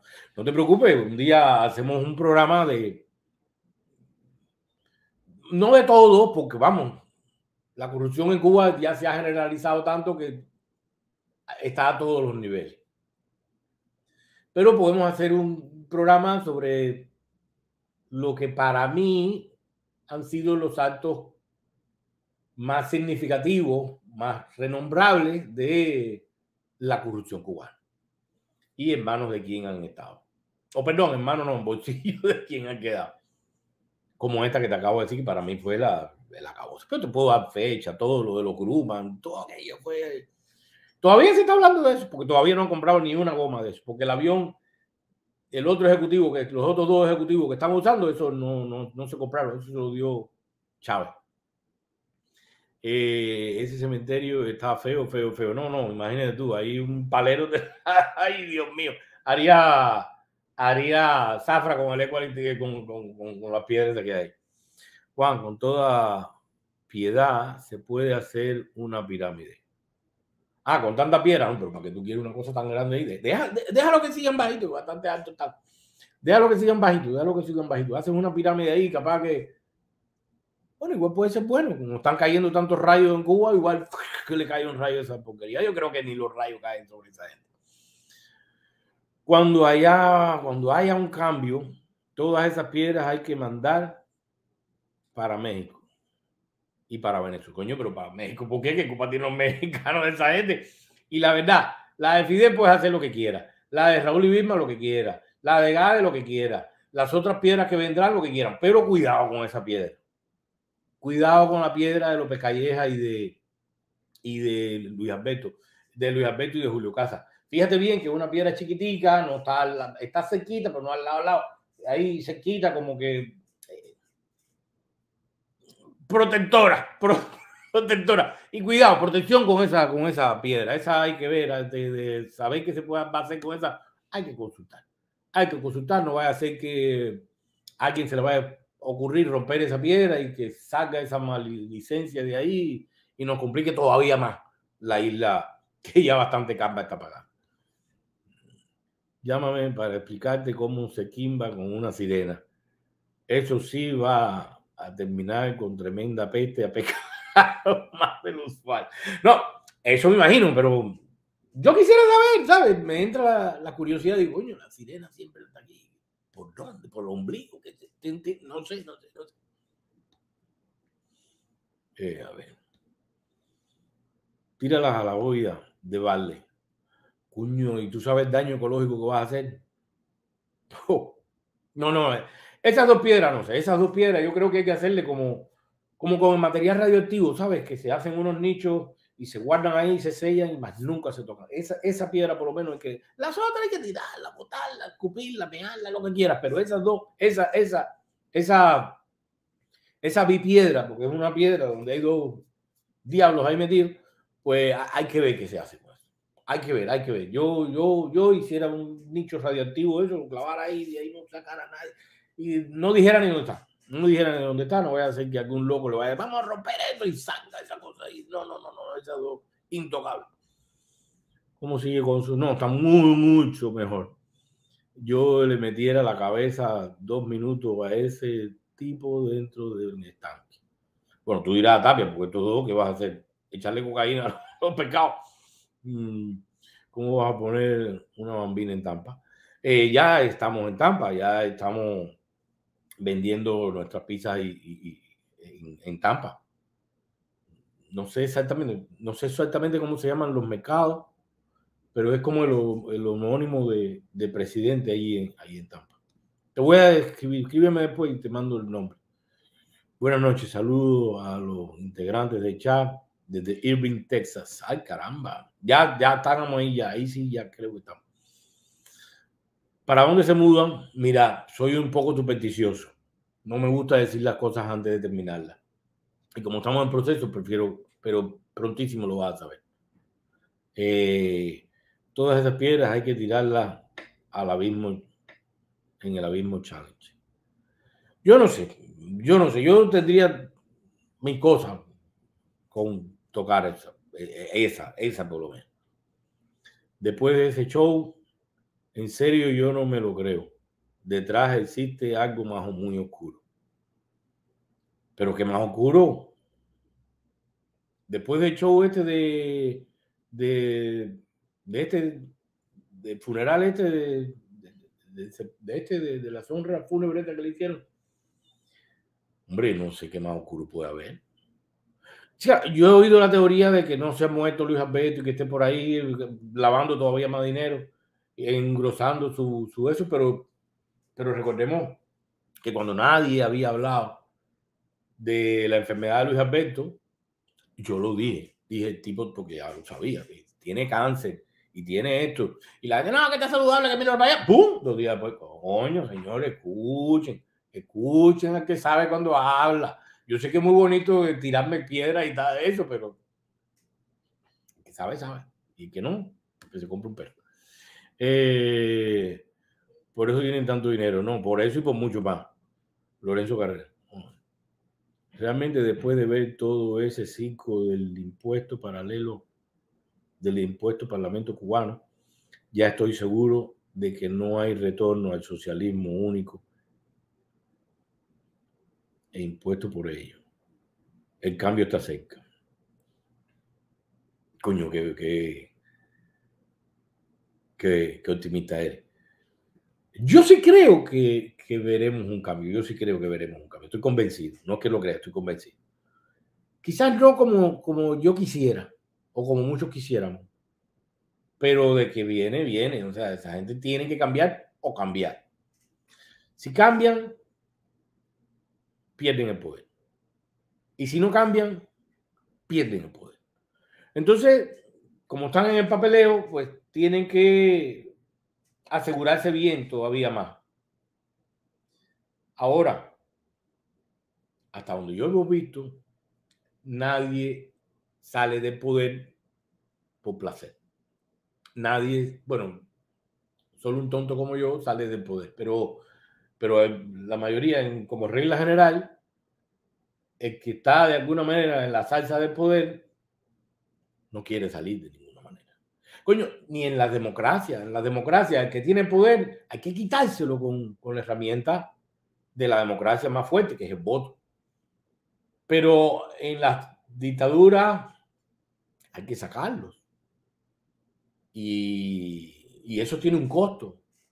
Y, y yo veo bastante poco probable que los cubanos querramos pagar el costo alto de sacar a los dictadores de poder. ¿Que podemos? Sí podemos, pero de que queremos. A veces lo pongo en duda. El precio de dos aviones, ponle un 30 o 40% más para su bolsillo. No, no, no. No, no. El precio de un Grumman, búscalo, googlealo. El precio de un Grumman es alto.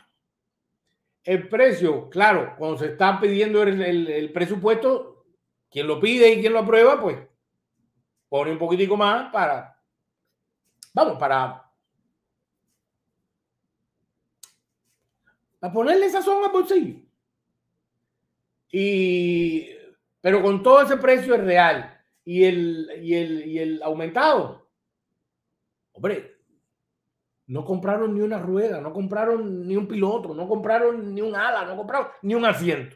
No compraron ni el forro para ponerle al avión diciendo, bueno, para ponerle el forro este, vamos a comprar- comprarlo adelante para después que venda el avión. No, no compraron nada. Se lo robaron todo, hasta el último centavo. Y para justificar, lo único que hicieron fue comprar. Bueno, comprar no. Gastar un poquito de cemento para hacer un par de hangares, dos que hicieron en el, en el José Martí, en la pista del lado, de un costado de la pista de la José Martí, cuando usted aterriza, usted la ve, y, y otros hangares que hicieron en el aeropuerto de Baracoa. Se acá. Ah, y en el y en el Antonio Maceo de Santiago, allá también hicieron otro hangar. Así que se habrán gastado de todos esos millones que se robaron, habrán gastado como parte de la del show. Sé cuánto cuesta. ¿Cuánto le quieres poner?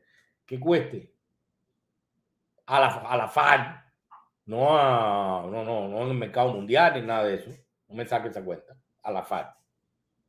¿Cuánto le pudo haber costado pedirle a la fábrica de cemento de Santiago un poco de cemento y un poco ahí de pam, para hacer ese hangar? ¿Cuánto le habrá costado? Un poco de jardinero para cubrir el hangar de hierba.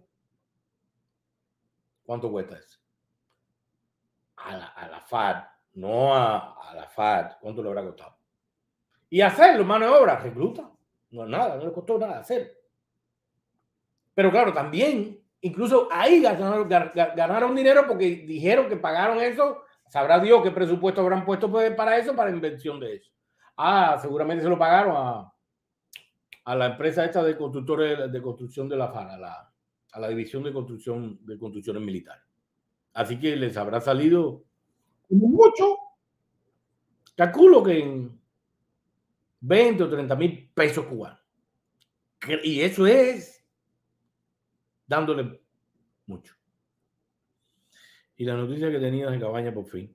No, porque las tengo, pero no tengo las imágenes, porque las iba a poner yo hoy, pero la verdad que para mí era mucho más importante hablar de, discúlpame, me pido disculpas, pero era mucho más importante hablar de este, de este show luctuoso.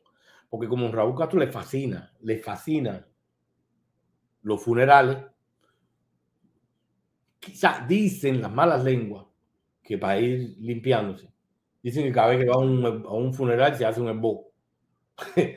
se limpia el muerto, dice, ven, ven, otro más que te va. Y, por eso era mucho más importante para mí. Sobre todo hablar de quienes no estuvieron o quienes no estuvieron visibles en ese, en ese acto fúnebre. Veo aquí en todos los chats, pero no me da opción. Veo aquí en los chats, pero no me da opción. ¿Opción de qué? De suscribirte. Arriba creo que por ahí anda. No sé si. Mañana es 26. Si no, siempre 26 para Luis 20. Así que ahí se quedó. Siempre 26 estancado. Eh, en fin. Caramba, un, un abrazo. Lachi, un abrazo. Gracias. Ojalá y alguien no lo repita. Eh, Cuba está corrupta hasta el tuétano, eso es verdad. Desgraciadamente la corrupción en Cuba, en muchos lugares la corrupción está en la, en la cima. Pero en, Cuba, en Cuba está a todos los niveles. O sea, el gasolinero, el bodeguero, el, el estudiante, todo el mundo está desgraciadamente poluido. Y digo desgraciadamente porque es lo que creo, no, no, me, no digo, ah, son corruptos ya, no, no, son prácticamente obligados a corrupción. Porque recordemos aquella frase que dijo y que escribió y dejó en su legado el emperador Adriano, cuando dijo, cuando un pueblo se acostumbra a violar las leyes menores, los legisladores deben cambiar la ley o de lo contrario, el mismo pueblo se acostumbrará a violar las leyes mayores. Y eso es lo que sucedió en Cuba. La cúpula, la crápula, violó las leyes que ellos mismos hicieron. Leyes de mierda, leyes de no sé qué, pero las violaron ellos mismos. Así que la población, al ver que las leyes no, lo- no los protegían, ni los sancionaban, ni todo era un descaro, pues empezaron a vivir en contra. Empezamos todos a vivir un poco de espaldas a la ley. Y, se armó todo una sociedad casi ácrata, donde la ley, el poder es prácticamente ignorado. Y tan en espaldas a la ley vivimos y tan acostumbrados a la ilegalidad estuvimos que usted vive aquí en esta ciudad, lejos de aquella porquería. Y usted se entera que al lado de su casa, o frente a su casa, o cerca de su casa, hay una casa donde siembran marihuana. Y usted es incapaz de decírselo a la policía por el prurito aquel de que no, no, no, ¿qué es eso? Que no sé qué, que no sé cuánto. Y todo es porque tenemos el mal en la vera. Todo es precisamente por eso. Deberíamos invitar a la hija de Bolera de Churri a tu programa, a Lina Castro. Yo a Lina hace muchos años no la veo. Claro que la conozco desde que yo era niño. Y conozco a su hija. Y todo, pero. Y a su mamá, claro que la conocí. Pero. Pero hace muchos años no la veo. No, no, no- sabría ni cómo contactarla. Bueno, sabría, ¿no? Buscando por ahí. Quizás mantenga el mismo teléfono de antes.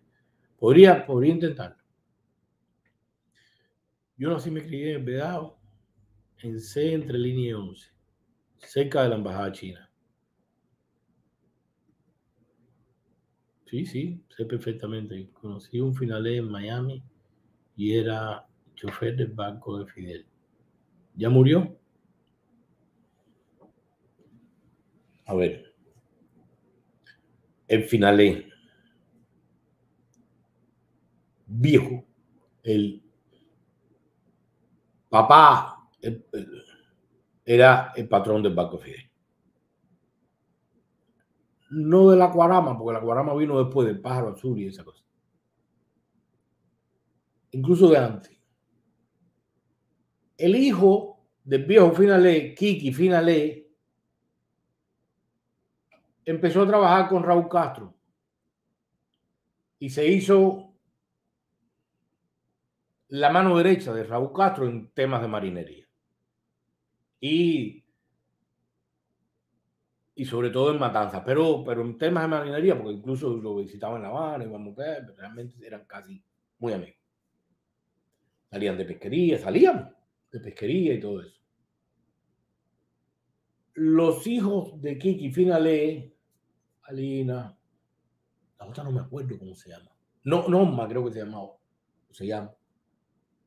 El otro que creo que vive en Canadá, que no era muy bien visto porque tenía ciertos ademanes femeninos y los, lo hacían bullying, le decían que era gay y no sé qué, no sé si lo era o no, pero sí era bastante. José creo que se llama. Y Raúl, que sí era muy, muy, muy amigo de Alejandro y mío. Y andábamos juntos y, esquivábamos juntos, paseábamos juntos, buceábamos juntos, todos lo hacíamos juntos. Pero eso fue hace muchos años. Yo, yo realmente la imagen que tenía de Raulito me gustaría hablar con él, porque esta, esta presencia ahí me ha dejado un mal sabor de, de recuerdo que yo tenía de Raulito y de la imagen que yo tenía de Raulito. y verlo ahí en el funeral del tipo que te pisoteó, te pisoteó, te ninguneó, te expulsó, te quiso joder la vida.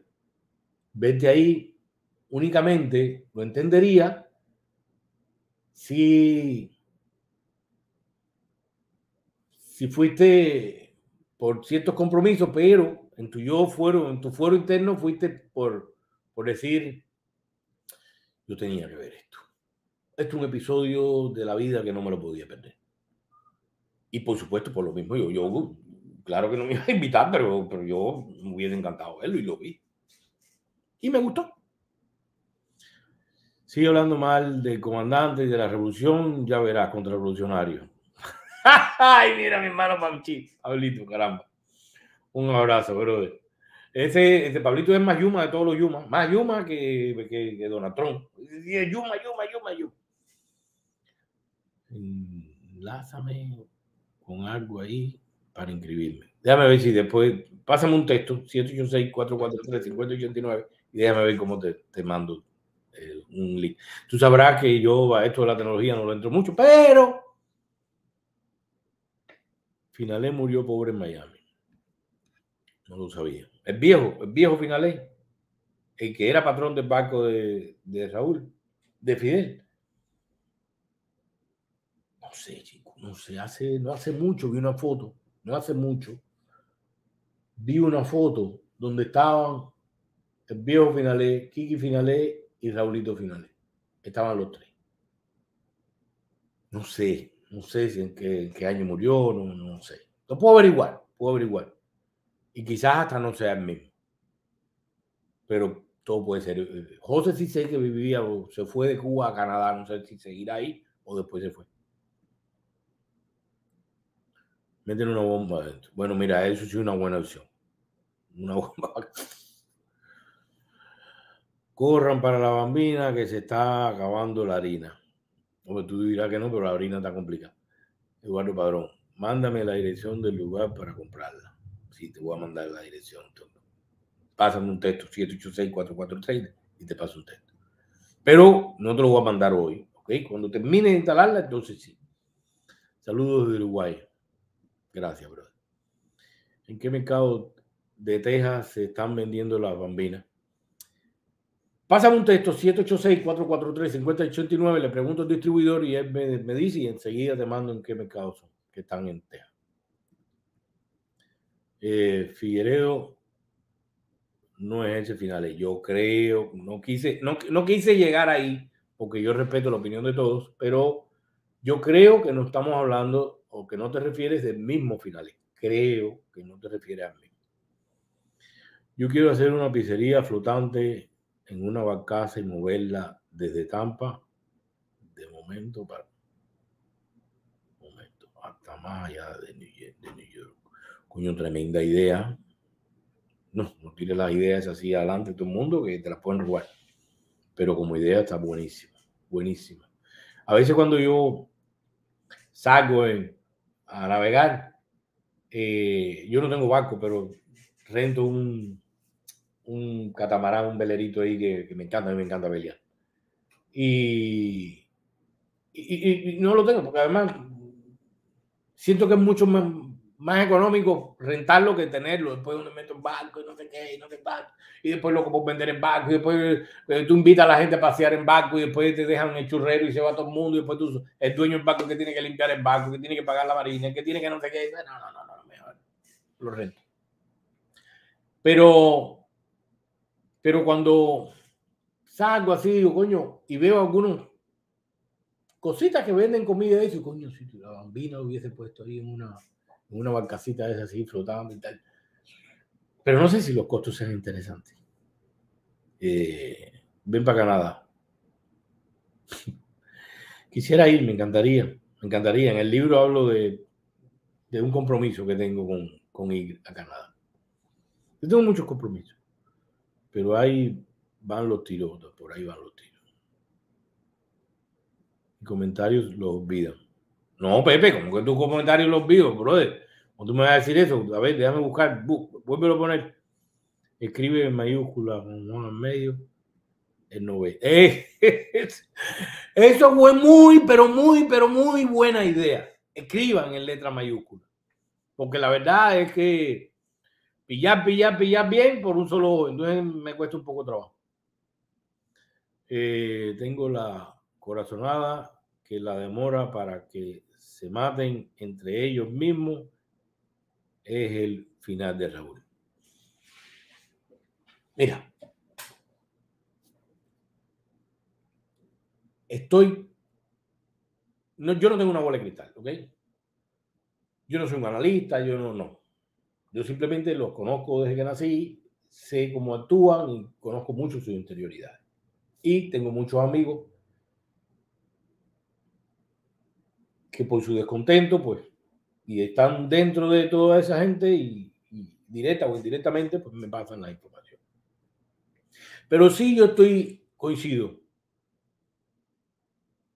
Cuando Raúl Castro, que se empeña en ser un hombre mucho más joven, bueno, de hecho se ve mucho mejor que yo, parece un tipo de 50 años.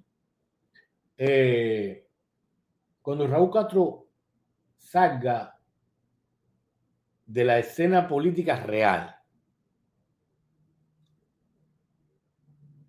ahí veremos. Ahí comienza un crash. Porque entre ellos tienen muchos problemas. Y el único que los mantiene de alguna manera en torno a una idea, a una estabilidad, es precisamente la figura de Raúl. Que no por sí, pensé mismo, no es un líder. El líder era hermano. Pero es como el heredero del, del líder y entonces eh, líder para la revolución, quiero decir, ¿no? Eh, y entonces es como el ocón que queda ahí de, de, toda esa gente. En el momento que eso falle, que eso coja su comején y se caiga, ahí sí, yo sí veo, ahí sí empiezo a ver muchos problemas inter, pero mucho. La muchacha de gafas oscuras al lado de Calamidad es su nieta. A ver, vamos a ver. Ahí está la nieta, estaba Gaby, digo, Bimita. A ver.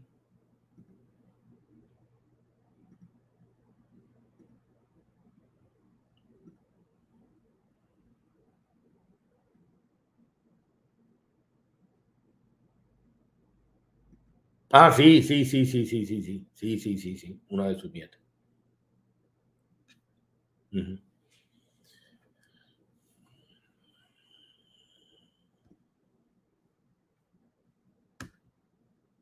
Sin ofender a nadie, que hay en ese sentido que algunos todavía hay gente así.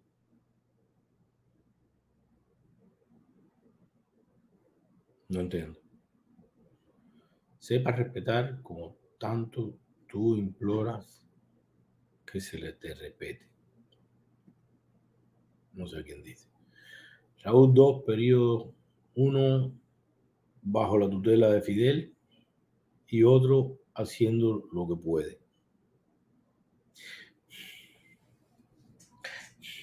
A ver, Raúl, es interesante ese punto. Sí creo que Raúl ha tenido dos periodos o tres. Uno bajo la tutela de, de, de Fidel. Desde que nació hasta, hasta que Fidel se retira por enfermedad, no porque quería, no por no sé qué, por enfermedad. O sea, fue el tipo que le dijo, se acabó para ti. Y Raúl toma el mando. Fidel cede el mando a Raúl.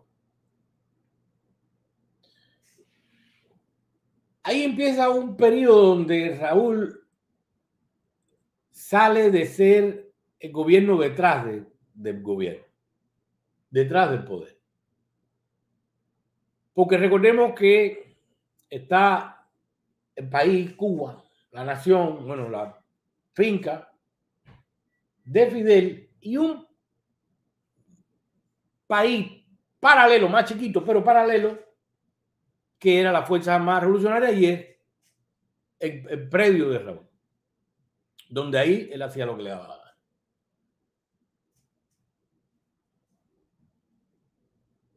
Desde hace muchos años, su colofón en el 89, cuando ya logra deshacerse de Minin, sueño viejo de él, y apoderarse de toda esa institución. Y luego, en el, eso fue un ensayo general hasta que, bueno, lo cumplió ya en, en el 2006, cuando Fidel se retira y tal. O perdón, cuando Fidel se retira forzosamente y, y bien, agarra el otro, le cede el mando. Ahí Raúl tienen que con urgencia salir de ese closet, salir de esa sombrilla donde todos lo asociaban a Fidel Castro. No podía gobernar con el espíritu de Fidel Castro. Precisamente por eso, lo primero que hace, antes de autorizar los teléfonos, los hoteles, toda esa bobería que hizo, lo primero que hace es sacarse el espíritu de Fidel de adentro, sacarse la sombra de Fidel en el gobierno. Inventa aquello que se hizo el paradín de anti, anti, anticorruptela en Cuba.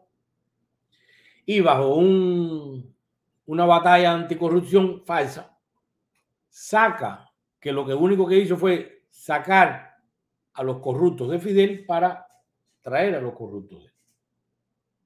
Entonces, ya se sintió cómodo para, listo, no cómodo, para convertirse en su propio Raúl.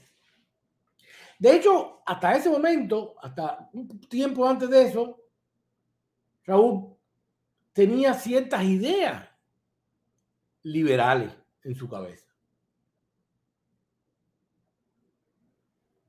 No me malinterprete, ¿ok? No estoy diciendo que haya sido un liberal ni que haya sido No, no, no, nada de eso. Ciertas ideas liberales. Sobre todo metidas después de la perestroika. Él era un perestroico, pero separándolo del glasno. Glasno a él no le gustaba. Pues glasno era la transparencia. Era, y él lo criticaba, que era acabar con la propia historia que ellos mismos se habían inventado. Así que perestroika sí, o sea, cambio sí, pero glasno no. Pero así todo tenía un, era un poco ciertas ideas liberales que quería poner en práctica. El único punto inteligente de Raúl Castro hasta ese momento era que sabiéndose un hombre no brillante, sabiéndose un no líder, sabiéndose un tipo con el carisma de un cocodrilo en el Everglades, supo rodearse, codearse de gente inteligente, de gente pensante. Alcibiades, Pensoli, varios. Pero cuando Fidel lo nombra, le deja el cargo, le deja el cetro, la corona y el, y el trono, por su propia paranoica, paranoia, paranoia y por su condición de ser un tipo con una relación familiar sobrevalorada sin llegar a ser un hombre familiar, porque sí es un hombre que sobrevalora el concepto, pero no lo lleva como familia. Sí como protector y eso, pero no, este es unos conceptos raros de. No estoy diciendo que sean buenos humanos regulares, estoy diciendo que son raros, no son, no es el concepto ese estructurado católico español que, o, latino que, que nos metieron el padre, no, no es exactamente así. Pero después que Fidel le, deja el trono y él se libera del el espíritu, de la sombra de Fidel Castro en el poder, como poder, lo invade el terror, porque Raúl Castro es un pendejo, muy cobarde, precisamente por eso engola la por eso, por cobarde. Y y por su propia cobardía tiene terror de empezar a emprender las cosas que él ideó o que tenía en la cabeza para hacerlas. Esas ideas medio libertarias que tenía, liberales que tenía y que quería y dec- decía siempre poner en marcha. Todo eso pasa y este Raúl se apendeja, no, no, no sabe qué hacer con esa bola. Y empieza a dudar de esa gente inteligente que, de la que se había rodeado por muchos años. Y empieza a meter en su círculo más cercano a, quienes único él confiaba, su familia. Ahí mete a Alejandro, a este, al otro, a Luis Alberto, a- a- toda esa playa de, inútiles se los, son los que lo agrupan. ¿Y qué pasa? Sencillo. Esta playa de, de inútiles empieza a sentir que para tener el poder completo, sobre todo Luis Alberto, que es el más inteligente de todos ellos, o el menos burro de todos ellos, tiene que salir de los que hasta ese momento habían acompañado a Raúl Castro y habían asesorado a Raúl Castro. Los sacan a todos. Guerra de poder. Y Raúl tiene la debilidad de, por pendejo, de ver lo que está sucediendo a su entorno, porque se lo dijo Polo, se lo dijo Amado, se lo dijo, se lo dijeron varios, y no tiene el valor de parar, de decir, no, me quedo con la gente que tenía, que ustedes lo que son unos ladrones aquí, no, no, no. No tiene valor, no tiene la, la visión o, el valor de, de volver a reagrupar su entorno. Y eso laceró mucho las relaciones de Raúl Castro con todos sus subordinados.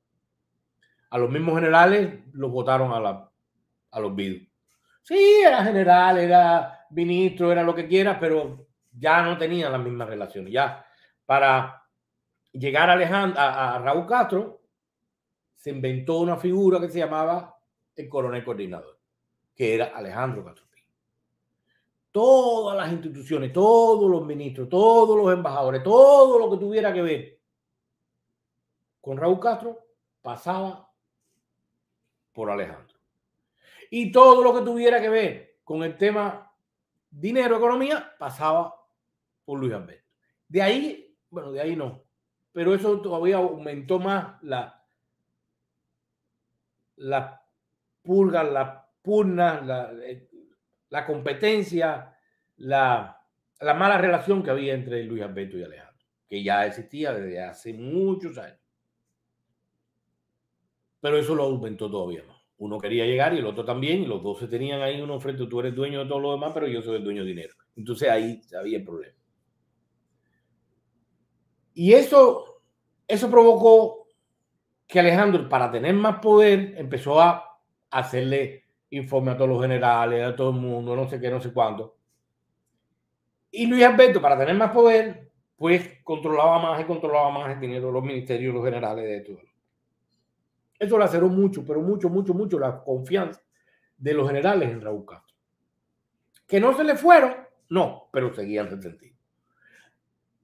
Después con el tiempo vimos el trono de, de, Polito por, por, por llevarle y decirle las cosas a Raúl de Luis Alberto y todo eso y de Alejandro. Y todo eso fue lacerando. ¿Qué pasa ahora? Señores, que toda esa gente están pegados a lo con Raúl Castro por sus intereses. Pero en el momento en que Raúl Castro coja Comején, eso implosiona. 100% seguro, 100% seguro. La primera ley que violaron es la constitución de 40. La primera ley que violaron es la constitución de 40. No. No. Yo creo. Yo creo que la primera ley que, que violaron fue la ley de la naturalidad. Haber nacido es la primera ley que violaron. No tenían que haber nacido. Violaron todo. Todo. Canel dos periodos, uno bajo la tutela de Raúl y otro haciendo lo que puede. Canel es otro, es otro caso. Canel es otra cosa, es otra cosa. Canel entra al círculo vis- visual de, de Fidel por lo Guevara. Cuando en mausoleo y todas esas cosas. Entra al círculo visual de Fidel por, por, por lo Guevara. Después le da la espalda a los Guevara, por supuesto, como todo buen trepador, y entonces sigue por acá. Raúl Machado es quien primero habla de él. Raúl dice que está muy joven todavía, que lo dejen, recuerdo perfectamente esa historia, porque, porque un, señor me lo contó que estaba allí en esa reunión. Y bueno, le dan un tiempo. Y Canel sigue haciendo todo lo posible por ganarse la confianza de esta gente. Y Canel no es que tenga un periodo bajo la tutela de Raúl. Canel tiene un periodo bajo la tutela de Fidel. Después Raúl lo hereda ya con gusto. Y hasta hoy no es un periodo haciendo lo que puede, porque Canel no decide absolutamente nada. Más que Canel, manda Marrero. Más que Canel, manda el ministro de la Fuerza Armada. Más que Canel, más que Canel manda ahí un montón de gente. Canel, Canel es simplemente una figura decorativa que puede estar o no estar. Eh, un criminal, un delincuente, un hombre que tiene responsabilidad penal por determinadas posiciones, sobre todo el 11J. Y entonces sí tiene mucha responsabilidad. Y desgraciadamente para él, creo que si Fidel, Raúl y otros no lograrán ser alcanzados por, por algún tribunal real por la edad, Canel sabe que a él sí lo va a alcanzar y que él va a tener que cargar por sus malas decisiones, va a tener que cargar con los muertos de Fidel, con los muertos de Raúl, con los muertos de este, con los muertos de los otros, con la responsabilidad y con los desmanes de todo un grupo de personas que ya no van a estar. Entonces sí, yo creo que en ese punto Canel es responsable y será responsable y responsabilizado de un montón de cosas y va a tener que pagar por ella. Pero en realidad es responsable de, su cobardía. Es responsable de sus malas decisiones. Pero él no manda. Es un títere que sus, sus hilos es una marioneta que sus hilos penden de un grupo de personas. Ni siquiera tiene un dueño, de un grupo de personas. Y por eso Canel es una figura, un personaje a, estudiar de verdad. En, el, en lo que pueda pasar y que él sabe que le va a pasar y que ha estado limpiando su imagen, pero no la puede limpiar porque los hechos están, coño, y eso no se lo vamos a olvidar. Es una figura súper, súper, pero súper, súper, súper interesante. Alina tiene un hijo que se llama Abelito. Alina tiene un hijo que se llama Abelito. ¿Cuál Alina? Ah, Alina, la, la hija Kiki. No sabía. No sabía. Yo vi a Alina, hace muchos años no veo a esa gente.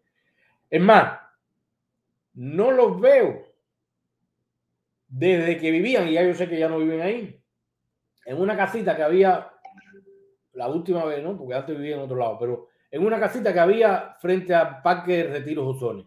Frente por frente a ellos había una casita, y ahí en esa casita vivieron ellos.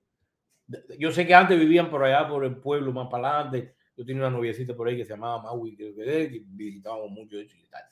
Conozco, esa gente los conozco de, de toda la vida.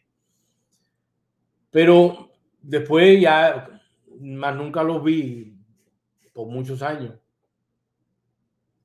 De hecho, Alejandro creo que fue medio noviecito de Alina, pero estamos hablando de hace 500 años de eso. No sabía, no sabía que tenía un hijo que se llamaba Abelito. El próximo estará un periodo bajo la tutela de Canel y los dos ya no sabrán qué hacer. Ah, Eso sí lo veo, eso sí lo veo un poco complicado. Porque ¿quién podría estar bajo la tutela de una marioneta? O sea, no, Canel es una marioneta. Bajo su tutela no habrá nadie.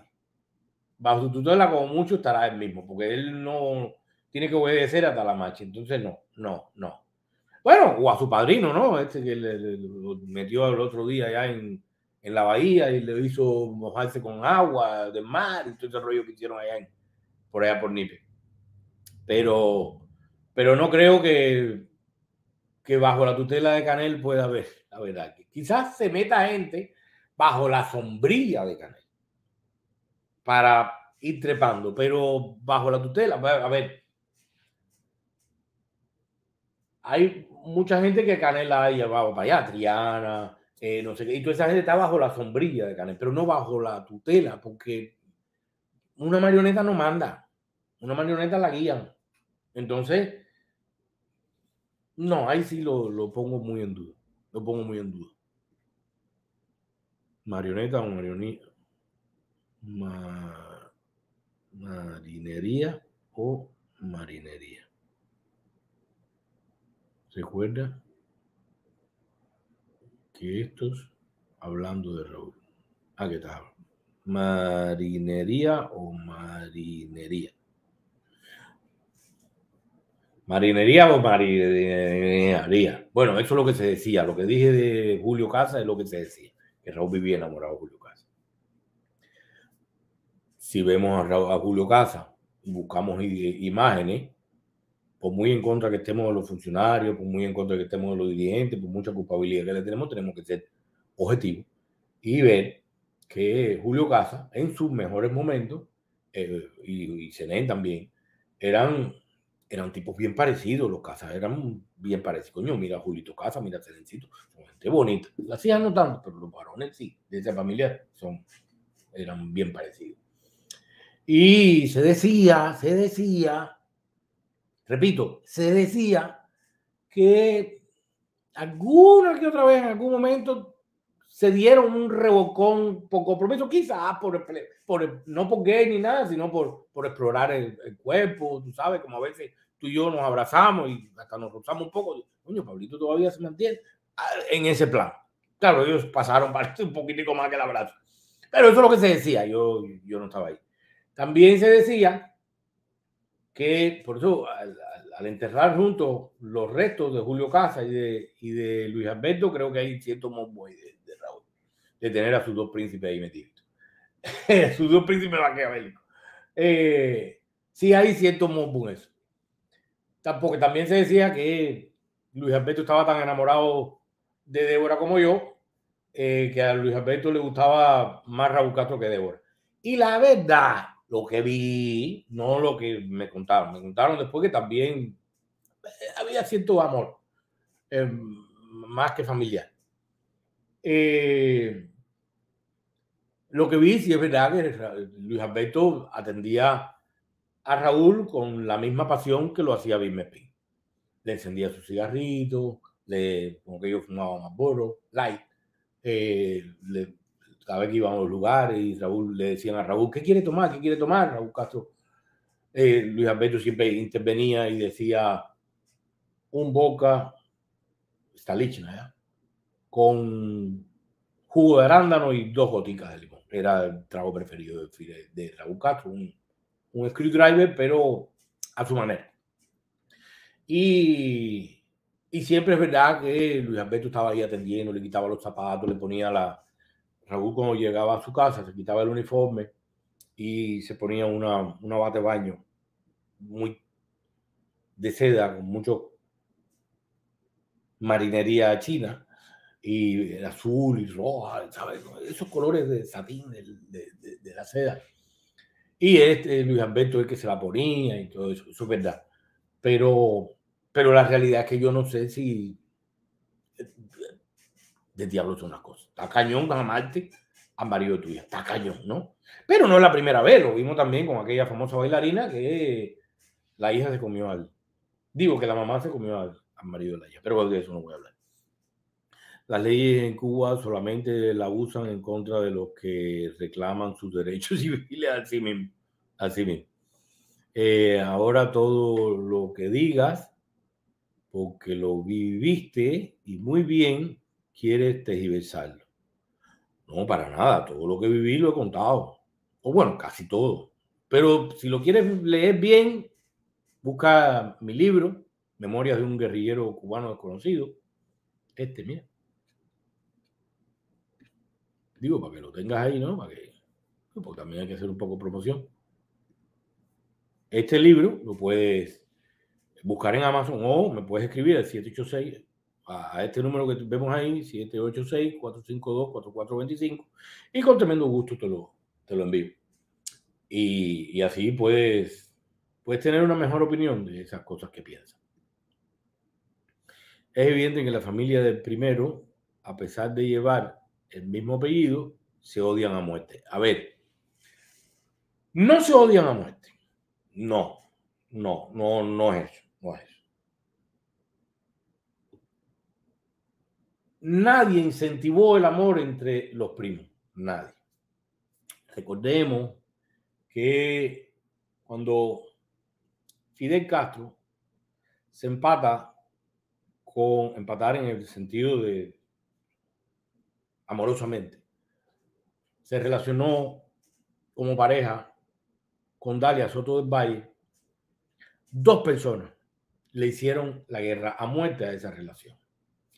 Celia Sánchez y Pin. Son las dos personas que le hacen la guerra a muerte a esa relación. Incluso presionan a que Fidel no se case. Ya tenía hijos, ya no sé qué, pero no se pudo casar con, con, con Mirta hasta después que Celia falleció. Y esas dos personas influenciaron mucho en Raúl Castro. Y Raúl Castro también se pone en contra de esa relación. Eso nunca lo perdonó Dalia Soto del Valle. Que incluso no lo perdonó tanto que hizo que esta familia nunca se uniera con aquella. Y Raúl Castro le compró la fiesta y nunca se relacionaron. Hasta que un día, estaba yo todavía viviendo en, en 26, hasta que un día, Antonio Castro, siendo un niño, llegó, bueno, estábamos arriba en el apartamento y llamaron por interno, pam, pam, y se el corre-corre, que venía un hijo Fidel, que no sé qué, que quiere, pam, pam. Por supuesto, era Antonio Castro que había ido sin previo aviso, había llegado ahí abajo a 26, al, sótano donde estaba la, la, posta, le había dicho que él era el hijo de Fidel Castro, Antonio Castro Soto del Valle, y que quería ir a conocer a, su, a sus primos. Fue él el que rompió ese, ese, ese hielo, siendo un muchachito. Subió, bueno, lo conocimos, pam, pam, pam, pam, todo eso, se fue bien. Pero, aunque ahí empezaron a conocerse, la realidad es que nunca se llevaron como familia. Seguían la tirantez, seguían ellos por allá y estos por acá. Si iban a Varadero, no estaban juntos. Si iban a no sé dónde y se veían, no estaban juntos. Siempre bien aislados uno de los otros. Y ni los escoltas compartían porque la gente punto cero era seguridad personal y Raúl con su seguridad personal del Ministerio de las Fuerzas Armadas. Nada tenían que ver. No coincidían, no, nada. Con el tiempo, ya mayores, viejos, empezaron a coincidir en determinados lugares y se llevaron bien. Pero eso no quiere decir que se lleven como familia, que sean, se lleven como primos, no. Cuando Fidel Castro sale del poder por enfermedad, los entonces príncipes Castro Espín se ven empoderados y se sienten que pueden hacer lo que siempre soñaron, ser como sus primos. Y ahí empiezan a pasarle la, la chara a todos los Castro Soto del Valle. Porque recordemos también que ellos eran mucho más cercanos de, de José Raúl, de Fidelito Díaz que también vivía en ese edificio y por temas con el matrimonio, de, con la unión de, de Fidel Castro y, y de Dalia, no vivía y no podía entrar allá a punto cero. Raúl tampoco podía, así que se llevó acá. Raúl no entra punto cero hasta que va el Papa a Cuba. No entra y si entró alguna vez, alguna que otra vez, fue con previo aviso. No es como llegar a casa de tu hermano, llegar a casa de mi hermano. No, no. Previo aviso, porque esas dos gentes no, no, no, se, no se llevaban. Y hacían todo lo posible por dinamitar la relación de sus descendientes, o sea, de sus hijos, sus nietos, no se llevaban. No es que se, no se llevaban mal, que no se llevaba, no había relación. Ni buena, ni mala, ni regular, no había. Pero cuando estos Castro, Espín, con un poder, pero pisoteados, humillados casi por sus primos, cuando toman el poder, le van para arriba, que, bueno, sobre todo el cangrejo a la vanguardia, le quita esto, le, el otro, le baja el poder de no sé qué, y los empieza a pisotear y los empieza a hacer, sentir lo que ellos sentían como segundones. Y de ahí está quizás ciertos rencores, ciertas competencias, pero decir que son enemigos, decir, es decir demasiado. Los luchadores son malos, no malos, no malísimos. Calle cerrada en zona 12 a la mar por el tema del agua. Bueno, y ahora dile a...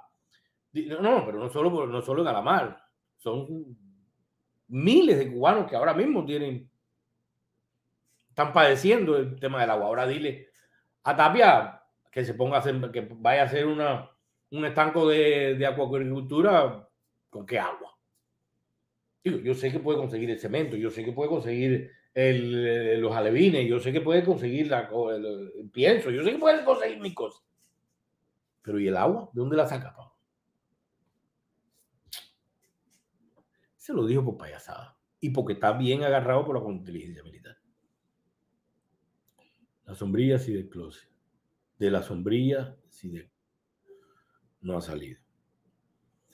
Bueno, eh, la sombrilla, bueno, sacó hasta los cocineros de palacio.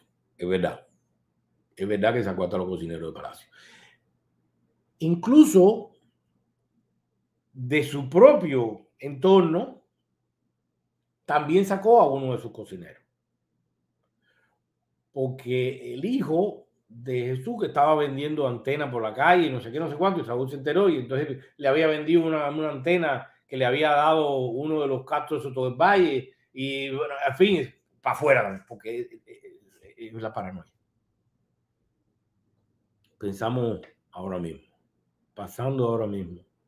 En Alamar, zona 12, los vecinos han cerrado la calle, una calle debido a la falta de agua. No, y cerrarán 10 calles más, porque no hay, no hay agua en un montón de lugares en Cuba. Eh, Carribe, eso le pregunté a usted, John John, en realidad, ¿quién gobierna en Cuba hoy? ¿Quién gobierna en Cuba hoy? excelente pregunta. En Cuba no hay un líder, no hay un mando único. En Cuba hay una crápula muy cerrada que es la que manda. Visto como si fuera una estructura piramidal, digamos que Raúl Castro está a la cabeza. Pero Raúl Castro no puede autorizar un montón de cosas por la edad, porque está eh, descansando, o porque está eh, en el médico, o porque está haciendo una cirugía, o porque está haciendo brujería, o por, o por lo que te está haciendo. Hay determinados espacios en que no puede decidir determinadas cosas. Y también porque hay determinadas decisiones que han decidido no consultarlas con Raúl Castro. Por supuesto que estoy hablando de decisiones mínimas. La repartición de, de los del alimento en la bodega de la zona 12 de Alamar. Eh, no sé, ese tipo de cosas no se consultan con Raúl Castro. Antes con Fidel se consultaba todo, con Raúl no. Con Raúl también, pero ya no. Porque se ha decidido, por él mismo probado también, que solo se consulten las cosas importantes. Ahora bien, el concepto de importante es igual a qué. Si vienen los americanos se le consulta, puede ser que sea importante porque un día van a venir, contra que lo dudo. Y si en caso que vengan los americanos, eh, habrá tiempo para consultarle, porque si vieron ¡boom! No hay tiempo. Relaciones internacionales, determinados conflictos se le consultan si hay tiempo. Hay decisiones que el canciller tiene que tomar en el momento. Hay otras que puede consultar, hay unas que tienen que tomar. Entonces eso quiere decir que la toma de decisiones, toda, completa, no pasa por el punto más alto de la pirámide de poder. Lo que quiere decir, no hay punto máximo en la escala de poder. No sé si me vas a entender. Abajo de Raúl, ahí inmediato superior, ahí, ahí, ahí, ahí, están los Castro. Paralelo a los Castro está López Miera, está cuatro o cinco de los generales y el, tres o cuatro, perdón, de los generales muy top. Quizás en un eslabón cuasi paralelo a ese, pero un poquito más abajo por la edad, la, la pirámide partidista. Pero aunque Díaz Canel sea el primer secretario del partido, por arriba de él, aunque sea un viejo decrépito, está machado.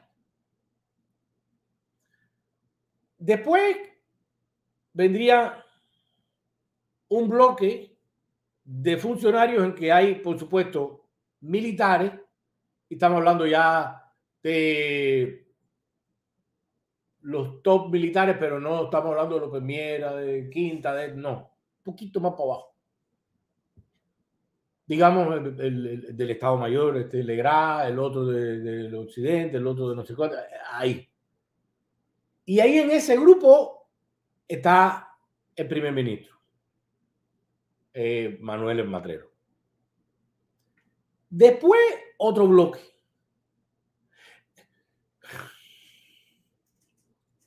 Podría, mira, vamos a ver si hago un, una pirámide para que, para que la vayan viendo y entendiendo mejor con nombres y todo eso. Porque así es que está dirigido el mando organizado hoy, el mando cubano, que en algún momento fue rígido, monolítico de un solo hombre, después rígido, monolítico de Raúl, y ahora ni rígido, ni monolítico,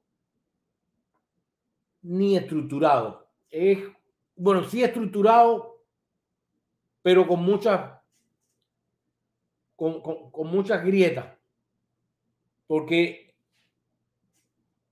en los dos eslabones, en los dos segmentos primeros de poder, ya dije, Raúl Castro es la pirámide, la punta de la pirámide, pero una pirámide que no existe, porque no se le puede consultar todo. Entonces, no es el poderoso.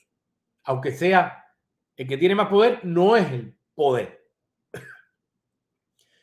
Pero en esos dos segmentos de verdadero poder hay mucho conflicto. Hay gente que no se soporta, que no se traga, que no se acepta. Pero saben que aumentando la grieta se les puede ir el poder. Y lo único que quieren los poderosos es, aunque no se lleven, mantenerse en el poder. Y eso es lo que, lo que, lo, así se está estructurado. ¿Quién manda en Cuba? Un montón de gente y a la vez nadie. Creo que contesté tu pregunta, pero déjame ver si en estos días hago una, una, un mapa estructural para que vean con nombre, con apellido, con, cargos y, y, vean exactamente cómo se maneja hoy los hilos de poder en Cuba. Canel estaba de presidente porque se metió en el closet con Raúl.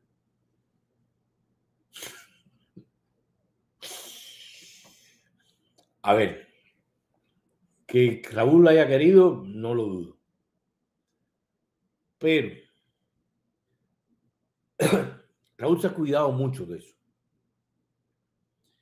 Y antes de tener una relación con cualquier persona,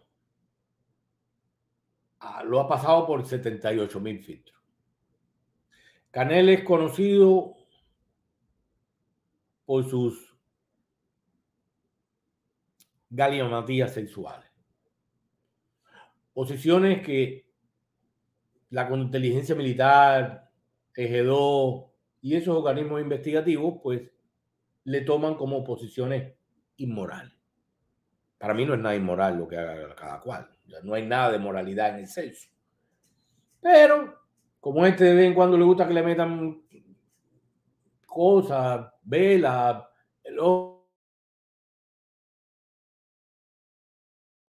y se han eh, manifestado algunas relaciones con el cantautor, la mujer del cantautor, la otra que juegan dominó los domingos y tal. Y además de dominó, parece que se pasan la mano de vez en cuando.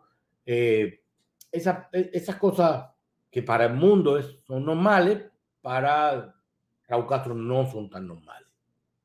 Y entonces, entregar su cuerpo a, a una persona moralmente más vista por los y que además que haya reportes y todo eso de, dentro de hombre, es como que ponerse demasiado. Quizás lo haya pensado, pero que haya dado paso está duro. Alejandro para presidente. Alejandro no llega ni a nombre, no. Eh, eso es Cuba cubestroica, tú dirás, y oligarquía tropical. Puede ser. Eh, JJ, y no sabes cuánto dará a luz.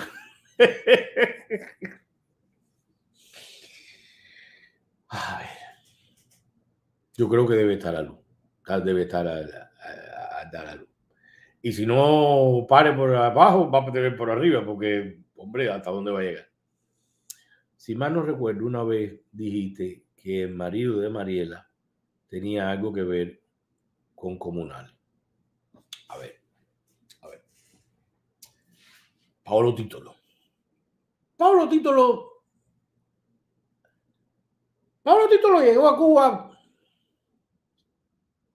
porque la mujer de él era hija de una famosa fotógrafa italiana o la mujer de él era una famosa fotógrafa italiana. Y llegó en esa cosa. Le pareció interesante decir que era fotógrafo, no fotógrafo en ningún lado. Quizás tiene una buena cámara, pero fotógrafo no es. y abriendo puertas y abriendo puertas, se tropezó con Mariela Castro.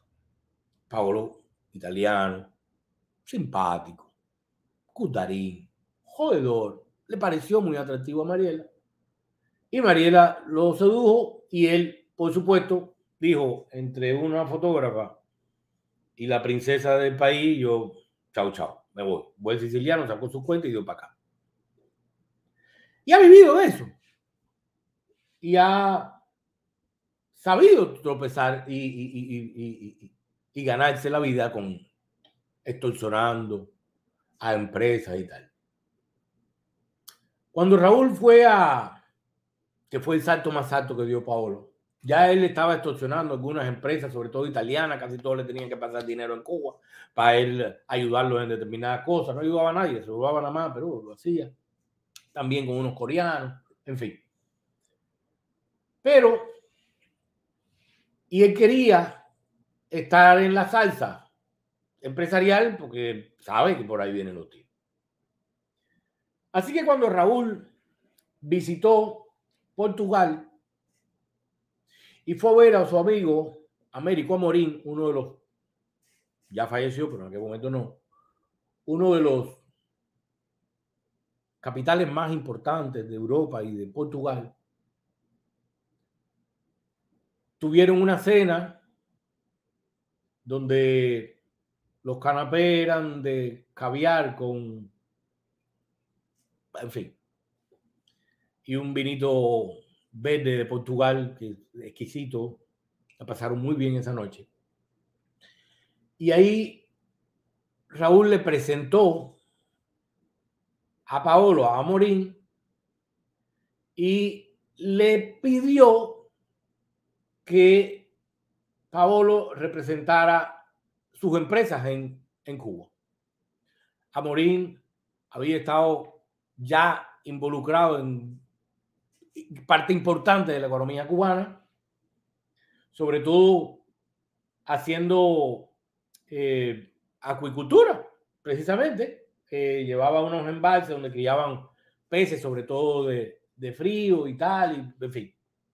Lo llevaban a Portugal, a los mercados, en fin.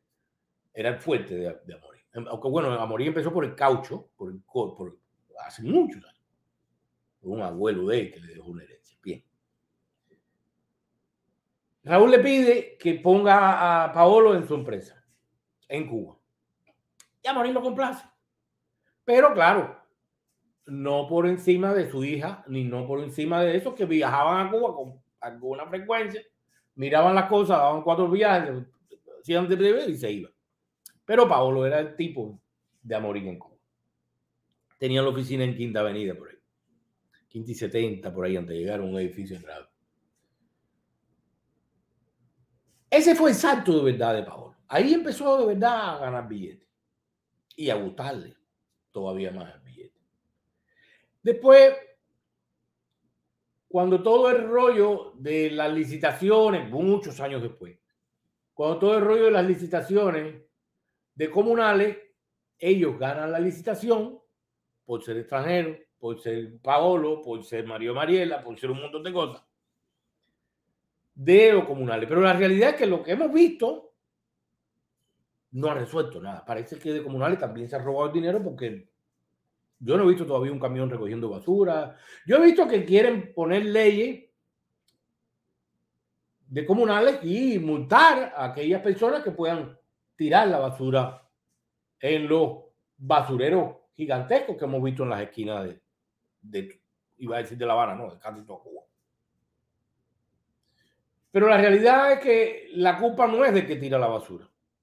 Porque usted puede ser un tipo consciente, tener la basura de su casa aquí todos los días guardada, guardada, guardada, hasta el día que pase la basura.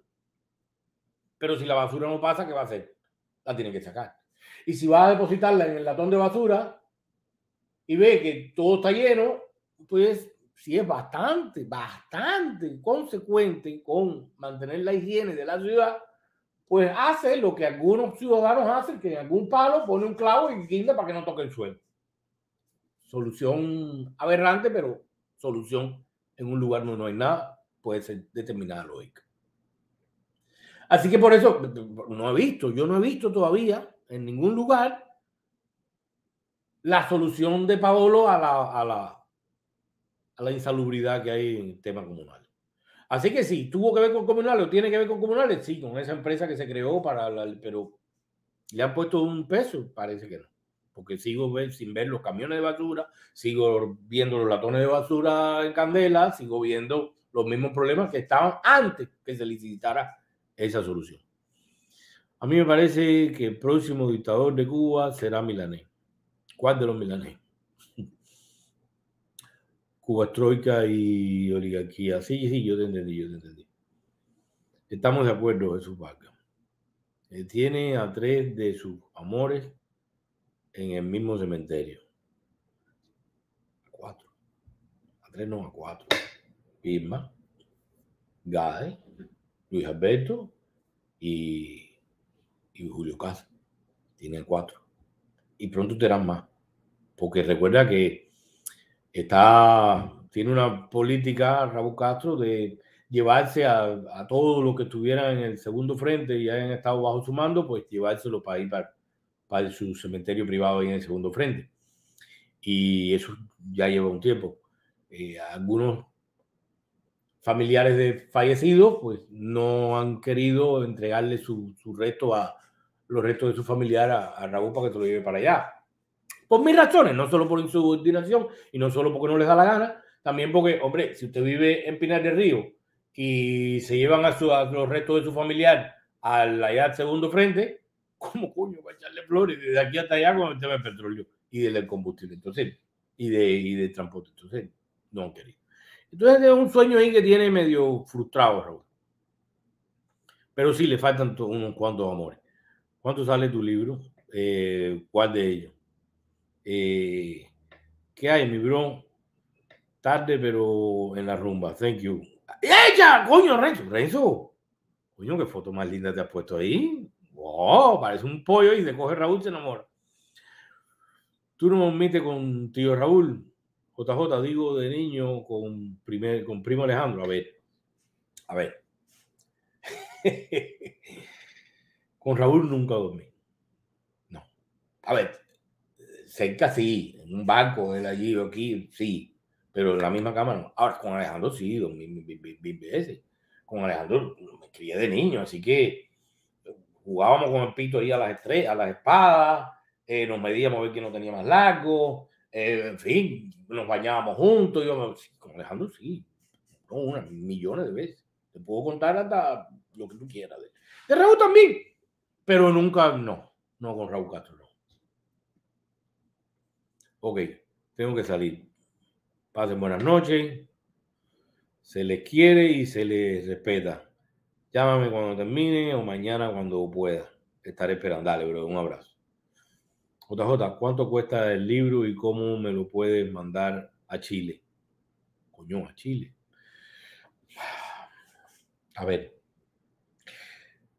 Escríbeme, escríbeme por, WhatsApp. 786-443-5089.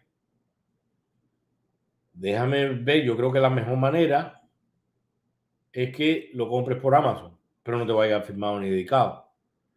Lo que puedo hacer es vendértelo yo y buscar a alguien, hay amigos chilenos que van y enviártelo, porque el correo te va a salir como a veces me han he vendido libros y los he tenido que enviar a Europa y el transporte sale bastante caro.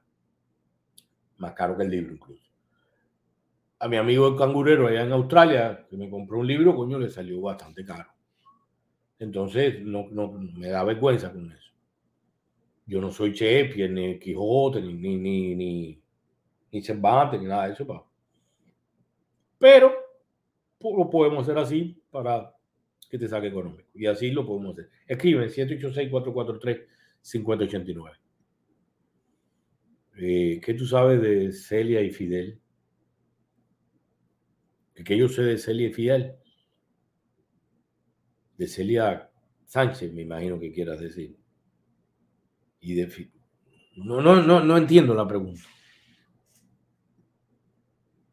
Yo tengo entendido de buena tinta Fidel solo respetaba de verdad a dos personas, Celia Sánchez y Juan Almeida Bosque. Tu papá, eso es lo que yo sé de buena tinta. ¿Es verdad?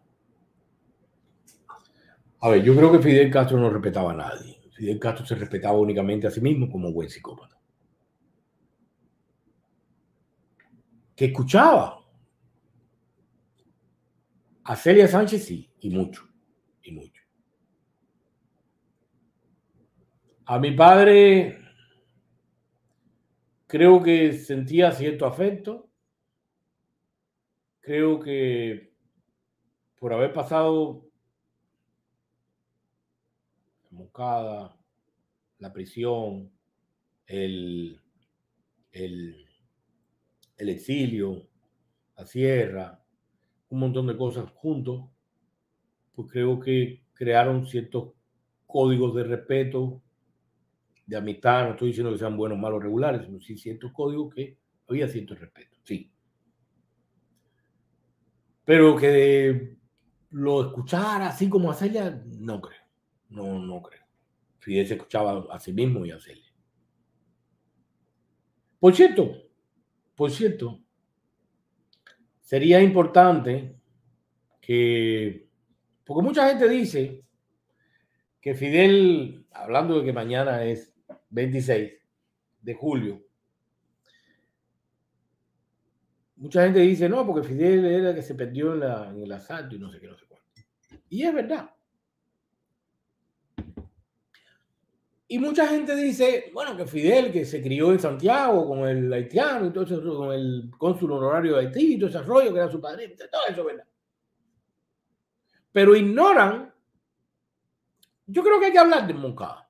Hay que hablar mucho de Moncada. Porque si bien es verdad que Ramiro, bajo el mando de, de Miré, salieron de por allá de Altamisa y fueron, se en La Habana y de ahí siguieron para Santiago y de ahí fueron directo para la gente de Siboney, mi padre con, con, con, con Mestre también salieron bien y de otros lugares, Montaner, en fin, salieron de diferentes lugares. Si bien es cierto eso, que algunos llegaron allí sin conocer prácticamente nada de la ciudad, quien organizó todo eso fue Fidel Castro y Renato que se vieron en Santiago dos meses antes. Y ellos organizaron la ruta, a dónde iban, eh, a dónde iban los, los, los, dónde se iban a quedar, cada cual en qué ruta iba, todo eso, el uniforme que se iba a dar, todo eso estaba estudiado al dedillo. Y estudiado y organizado por Fidel y por Renato. Así que si Fidel no llegó, no es porque se perdió. Porque él organizó eso, él sabía la ruta, él sabía las calles que iban a estar cerradas, él lo sabía todo. Pero de eso podemos hablar en estos días que estamos conmemorando la efeméride. Eh, Luis Nápoles, la reacción de Fidel y Celia Sánchez, la relación de Fidel y siempre fue Voz Populi en Cuba. Ah, tú dices la relación. Sí, claro sí que la tuvieron. Triunfo del 59, Celia enfermó de cáncer. No, no. Celia enfermó de cáncer mucho tiempo después del 59. Yo nací en el 65 y conocí a Celia y todo eso, así que fue mucho después del, del 59. Eh, se comenta que por aquellos tiempos ya Raúl tenía serios problemas de alcoholismo, lo que acentuó la mala relación con su hermano. Mm. A ver, Raúl Cato tenía problemas de alcoholismo, sí, serio. Raúl Cato siempre ha tenido problemas de depresivos, como buen pendejo. Metido en un cascarón impostado de engolar la voz, de parecer y hacerse el tipo temerario, de, fingir constantemente, de actuar constantemente una personalidad que no es la de él, pues precisamente por ese constante, constante actuar, pues caía con cierta frecuencia o con muchísima frecuencia en episodios de depresivo. Episodios depresivos que los intentaba salir de ellos bebiendo. Y eso, ya sabe usted, la bebida hace un up, pero después cae un down. Y, y eso provocaba todavía más depresión y más depresión. Así que si Raúl se pasaba tiempo bebiendo y en depresión, porque había una crisis grande depresiva, es cíclico, se encerraba, no se bañaba, no se afeitaba, no salía del cuarto, no comía, o a veces chute que le llevaba la comida hasta el cuarto, o Bisma le llevaba la comida hasta el cuarto. En fin, caí en esos, en esos ciclos súper depresivos. Y cuando salía, entonces se ponía el uniforme, se sé yo, van y salía y veía. Eso, esos ciclos depresivos de Raúl los hizo tener muchos problemas con Fidel, pero no por el alcohol per se, sino por el ciclo de ausencia. Porque en las Fuerzas Armadas Revolucionarias, como en cualquier otro ejército del mundo, existe una cadena de orden, obedecimiento. Y pasaba algo y había que buscar o consultar urgente con Raúl Castro y Raúl estaba depresivo. Por ende, había que tocar la puerta de Fidel. Y Fidel entonces se encojonaba y gritaba y decía que este, que era todo lo que se sabe. Y hasta que aparecía Raúl. Entonces, lo, los, los problemas con Fidel no eran por el alcohol ni por sus depresiones, eran por los ciclos de desaparición de Raúl por las depresiones y por el alcohol.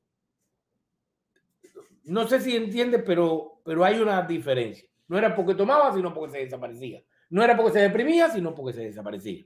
Y porque no tenía el tiempo suficiente para dedicarse todo el tiempo a, su tarea, que era ministro de la Fuerza Armada Revolucionaria. López Calleja está vivido y goleando. No somos tantos Juancitos, no somos tantos Juancitos. Ya conocemos esta forma para poder disfrutar de la fortuna con, con otra identidad. A ver, Aconte. Personalmente, yo no, no pongo en duda que determinadas personas, incluyendo López Calleja, no hayan muerto, se le haya creado una identidad, se haya ido para todos lados, para algún lado, para papá, ahí está pasando la, dulce vida, cantando todo el dinero y aguantando el dinero de, del resto de su familia, que ya sabemos que es robado. Pero a mí me cuesta mucho trabajo creer, en el caso de Luis Alberto, que sea así. Me cuesta mucho. No, no digo 100%, yo no estoy seguro de nada. Todo lo que sale de ahí, no creo nada. Pero me cuesta mucho trabajo creer porque yo sé que estaba enfermo de cáncer, que también se puede inventar, que siguiendo esa teoría tuya puede pasar cualquier cosa. Raúl Castro también puede estar muerto y ese joven que vemos eh, ahí, pues puede que no sea. Todo puede suceder. Ahora, dudándolo todo, me cuesta trabajo creer que no sea cierto que tenía cáncer. Y, me cuesta trabajo creer que no haya fallecido. Pero todo puede suceder. Yo, de esa gente que sabe hacer bien es robar y mentir, no puedo poner las manos en la candela para nada. No te desmiento porque no estás diciendo ninguna mentira, pero no comparto esa, ese criterio. Creo que, creo que sí está muerto. Creo, yo no tengo la verdad de nada. La consigna en Cuba es siembra un siembra un Pero muchachos, ¿tú crees que tus oyentes creen todo lo que has dicho? No digas más mentiras.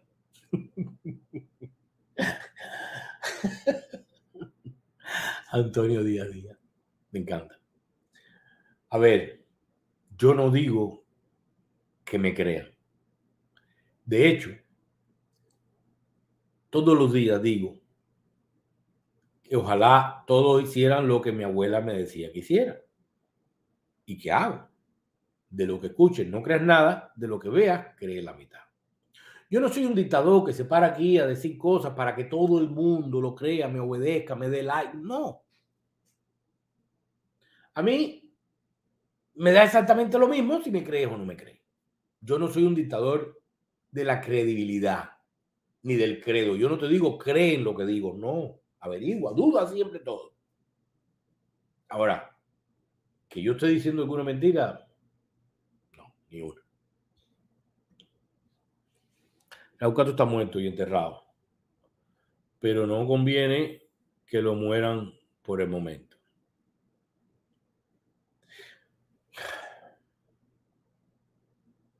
A ver.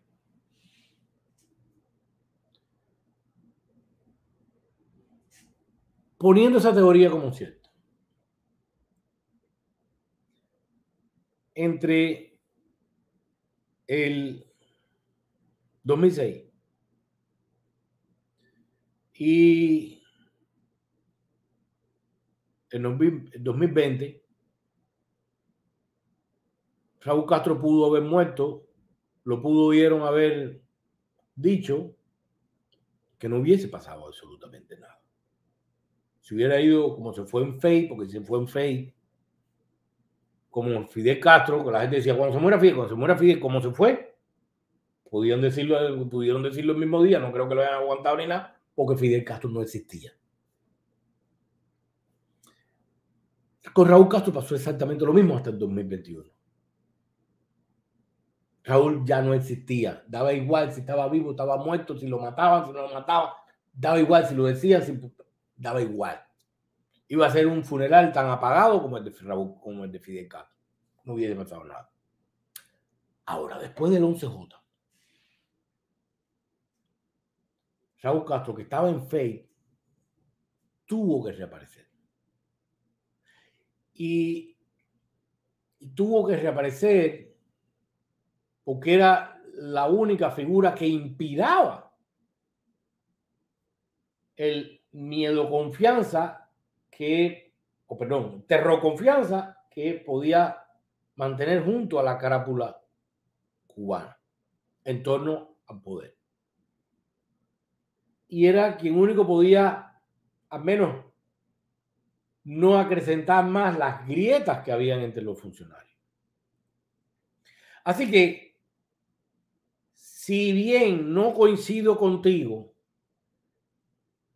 en antes del 2021, después del 2021, sí no, no se le puede morir Raúl Castro ahí de, de 2021 hasta hoy, ellos necesitan mantener vivo, visiblemente vivo a Fidel a Raúl Castro.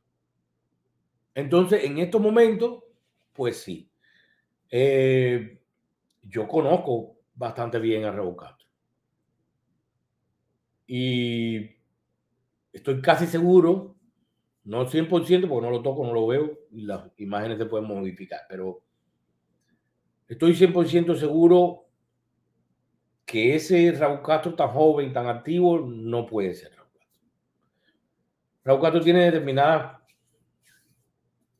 señas y señales que, que no las tiene este. Y a no ser que sea sometido a un tratamiento de cambio de piel, cosas de esas, este no es. Juraría que no es.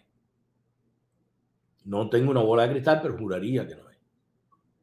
No quiero hacerte creer que no es, porque yo no sé si no es. Me parece, casi estoy seguro que no es. Pero sí coincido en que en estos momentos, desde, 2020, desde el 11J hasta hoy, tienen que mantener a Raúl Castro vivo, es la única pieza que sirve para que el engranaje no se quiebre totalmente. Eso es mi opinión. Viste, ya te escriben en Cuba mayúscula, gracias por el comentario. Eso es verdad, eso es verdad. Gracias, gracias, Eric, gracias. Los, los tucos se llevaron, sí, ya sé que se llevaron las dos plantas. Cuba se queda sin electricidad. El a, el estallido a punto de caramelo. Todo puede pasar. Todo puede pasar cuando un pueblo está viviendo una situación invivible y cuando los gobernantes están viviendo una situación ingobernable donde el pueblo no cree en ellos y ellos no, ya no pueden controlar al pueblo, es muy difícil que se eviten determinadas explosiones sociales y determinados estallidos sociales y determinados golpetados, determinados lo que sea. Ahora, ¿cuándo? No lo sé. Soy de Tampa y quisiera verte la próxima, el próximo sábado en La Bambina. Dime si es posible, brother. El próximo sábado mejor me llama. Mi número es 786-443-5089 y nos vemos en otro lugar porque estoy mudando La Bambina. O sea, ya no estoy ahí. Eh, nos estamos yendo y nos estamos instalando en otro lugar. Entonces, no sé si ha visto que no podemos los comerciales para no errar a la persona y decirle que estamos en dirección cuando todavía no, cuando no estamos. Eh, Roberto Labrada. Juan, yo nunca he creído que la muerte de, Celia fue realmente por su enfermedad. Creo que se decepcionó de cómo Fidel empezó a llevar la dirección de Cuba, convirtiéndose en un dictador.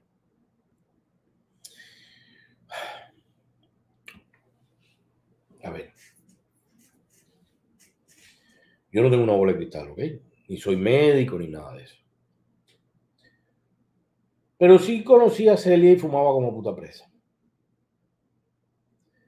Y murió de cáncer, según los médicos. Que era una mujer de convicciones muy estrictas, es verdad también. Y las personas, las personas con convicciones muy estrictas son muy fáciles de decepcionarse. Porque todo lo que le parece que se sale de su línea estricta de pensamiento, pues puede moverles el, hacerles el crash. Puede ser, puede ser. Pero hasta donde yo sé, yo era un muchacho, no un niño, pero sí un muchacho, y quise mucho a mami, a Barcelia, eh, yo siempre escuché que falleció de, de cáncer en los pulmones. Mando día a día totalmente de acuerdo contigo.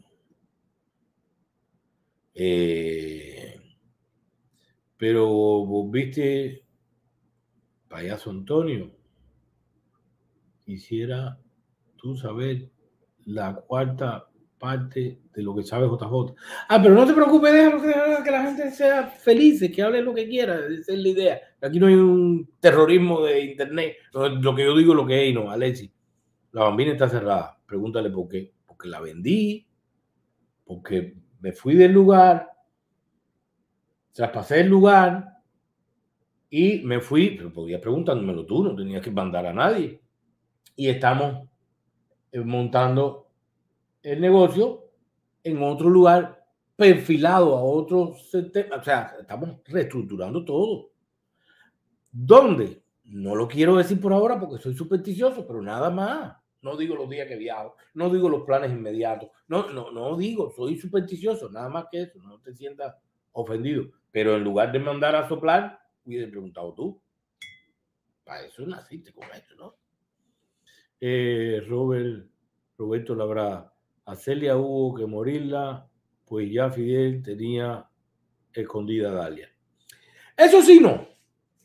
Eso sí no, porque de hecho Celia y Vilma hicieron imposible que Fidel y, Dalia se, se, casaran. Fidel vivía acá, Dalia tenía ya los muchachos y no sé qué y todo ese rollo, pero no lo, no, no lo permitían, hacían mucho fuerza.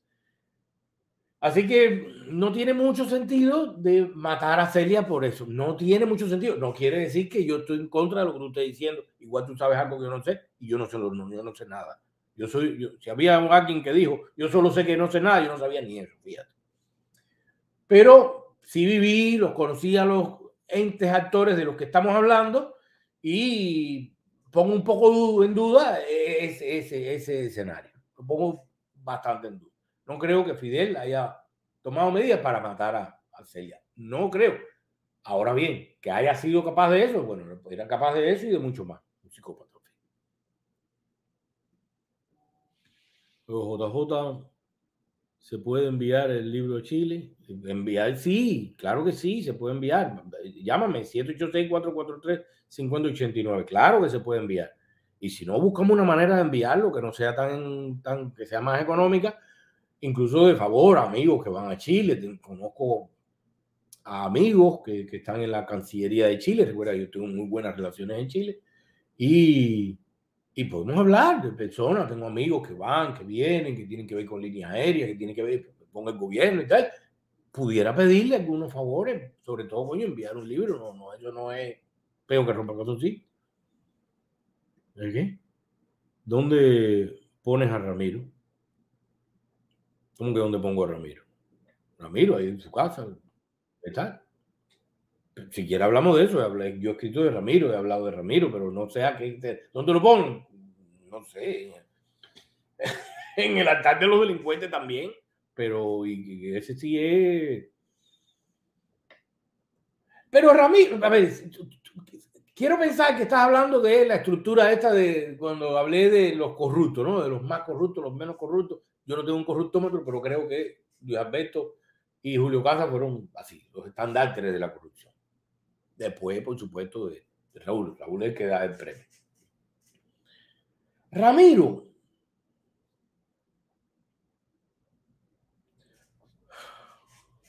Ramiro es un hombre frío, calculador, criminal, asesino, todo lo que tú quieras. Un hombre que se ha, ha utilizado el presupuesto estatal como le daba la gana, pero en su conciencia, él no es un corrupto. Luis Alberto y Julio sí. Este no es un corrupto en su conciencia. Porque para Ramiro, él hizo la revolución, él es parte de la revolución, él es dueño de la revolución y de todo lo, lo- lo- lo que de ese país emane y de todos los cubanos. Él es dueño de eso, él se siente dueño de eso. Y si tú eres dueño de este vaso, tú no te lo puedes robar porque es tuyo. Y si tú eres, te crees dueño, perdón, de este vaso, tú no te lo puedes robar porque es tuyo. Ese es Ramiro Valdés. Él siente que él tiene el derecho de dilapidar los, el presupuesto cualquiera del país, en cualquiera de sus galimatías, pero no porque se lo esté robando. Luis Alberto sí, Julio Casas sí sentía, se estaba robando algo que no era de ellos. Este se lo está robando igual, pero siente que es de él. Ahí está la diferencia. El móvil, aunque te convierte igual en un corrupto, el móvil que te hace robar no es el mismo móvil que te hace usar lo que tú crees que es tuyo. No sé si me entiendes, pero hay una diferencia. Debajo de Raúl, lo que hay es escombro. Sí, eso es verdad. Margarita Frita. A López Calleja lo mandaron a morirse. Puede ser, todo puede ser, Juan. Y que Rogelio Polanco, en esa estructura de poder, ninguno. Absolutamente nada. Ninguno. Un mequetrefe. Nada. Un mequetrefe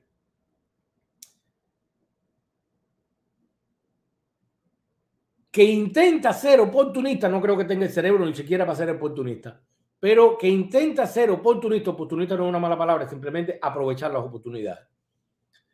En ese sentido.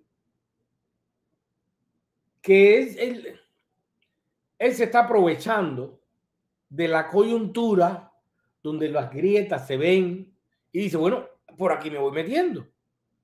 Y determinadas confianzas, determinadas relaciones, determinadas nexos con poderosos lo pueden estar beneficiando, pero de él ser parte del poder, no, él en ninguna de las estructuras que dice, en ninguna aparece, en ninguna, por ningún lado.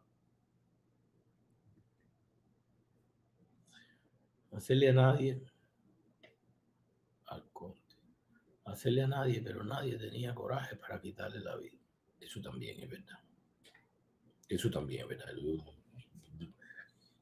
Dudo, mucho, dudo mucho que sea como, como dice, pero igual sabe algo que nosotros no sabemos.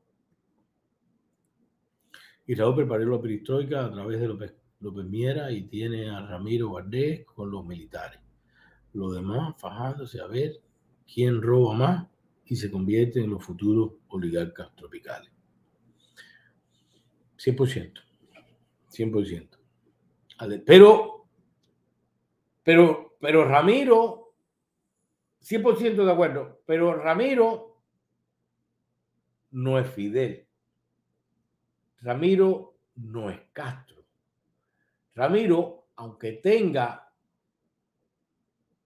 algún, algún no, un gran pedigrí como parte de esa revolución, no estoy diciendo bueno, malo, regular, no me malinterprete, eh, como tenga to- todo el historial, el hombre histórico de Moncada, de esto, de lo otro, todo eso, ha cumplido con todos los periquitos, eso, cumpla con todos los periquitos, eso, no es un Castro. Y Ramiro es un hombre temido, pero no es un hombre respetado y no es un hombre seguido. Sí temido, pero no.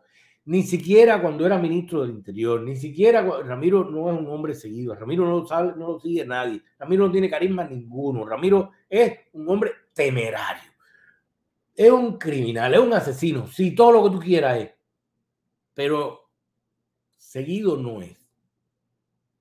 Y aunque ha sido un hombre con mucho eh, salud, porque ha, sido muy, muy, muy, muy, muy, se cuida, se ha cuidado toda su vida, su alimentación y, y- y su salud, haciendo ejercicio y todo ese rollo. Tiene ya también 92 años, 91.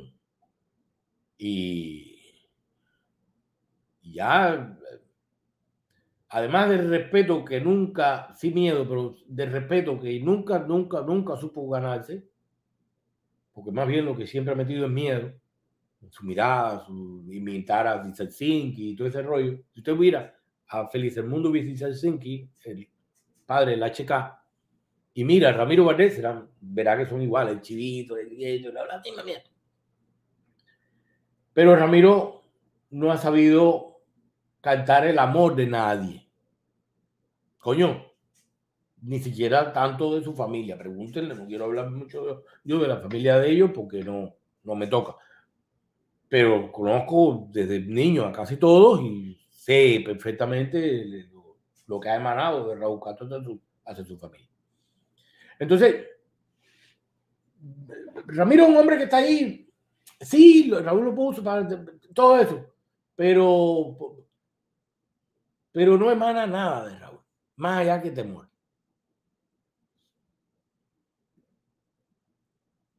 JJ, quiero comprarte el libro y comerme una buena pizza. Soy de Tampa y voy la próxima semana. Déjame saber, mi brother. Brother, llámame, Alexis, eh, o escríbeme 786-443-5089 y lo hacemos con tremendo gusto. Señores, las 11 de la noche ya no, ya, ya, ya, ya. Cara de puerca. Eh, Iván Iglesias. De todos los generales que se murieron uno detrás del otro, de otro, en menos de un año, a tu opinión, ¿qué sucedió? A ver, a ver. Creo que nosotros magnificamos un poco estos hechos.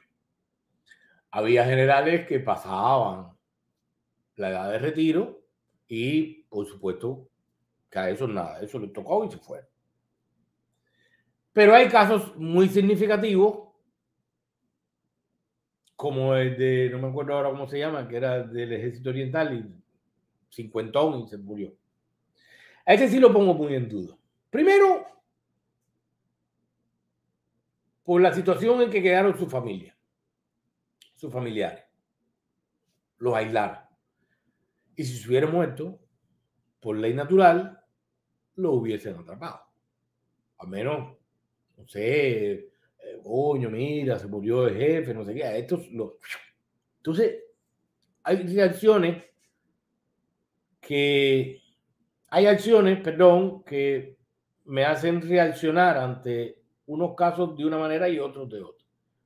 A este caballero que falleció o lo fallecieron, me cuesta trabajo creer que fue por leyes naturales. Me cuesta trabajo. Yo no estaba ahí, no sé nada, lo puedo averiguar. Me cuesta trabajo creer que pueda llegar a, tener una, una, una, una, una información 100% creíble de lo que pueda averiguar, porque alrededor de esas cosas se tejen muchos mitos. Pero me cuesta mucho trabajo creer que ese se murió. Los otros, coño, si el otro estaba más viejo que tú, estamos como el otro, no, fueron una serie de generales que murieron seguidos, es verdad. Uno con 50 años y los otros pasado de retiro. Entonces hay uno que sí, pero hay uno o dos que me cuesta trabajo creer. Además, recordemos la posición que tuvo el ejército en, en, en torno a, ante, antes, de, antes de esas muertes tan seguidas, el, 9, el 11J y todo eso, que pasaron la posición de los militares, eh, la posición que tenía este militar en torno a, a determinados cambios. Eh, entonces me parece que este sí sobraba. A este, yo no puedo decir que lo mataron, pero creo que con gusto lo hubiesen matado, le tocaba. Pero, pero no lo puedo asegurar, no lo puedo asegurar.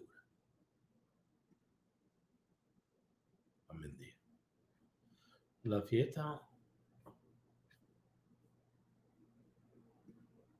Ok. Eliezer Flores, te estoy esperando para hacer costillas ahumadas. Coño, llámame ahora mismo, 786-443-5089 y dejo esto y me voy para allá. Dale, pero ahora mismo, ahora mismo llámame. Eh, a ver. Bueno, señores, ya. Ya que mira la hora que.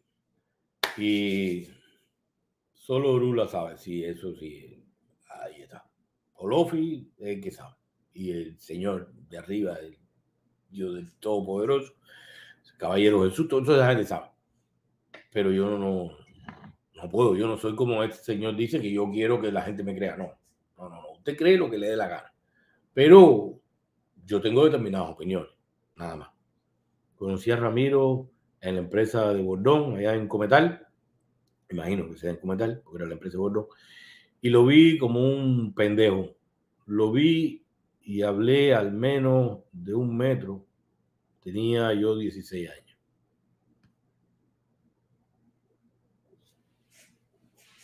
A ver, Eric. Creo que a Ramiro, de Ramiro se puede decir misa. Lo que tú quieras puedes decir. Ahora, pendejo creo que no era. No, no, no, creo que eran muchas cosas, pero pendejo creo que no. No, loco, eh, tirano, dictatorial, eh, asesino, marquesade, sádico, eh, todo, todo, lo que tú quieras puede ser de él, dice el Ahora, pendejo. Y no lo digo por, por elevarlo ni nada, digo, por cada cual coño a su justa dirección. Todo lo que sea, delincuente, todo, todo, todo lo que quiera. Pero, pendejo.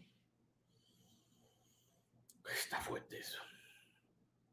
Hasta mañana, cuídate. John Raúl es zurdo o derecho o ambidiestro.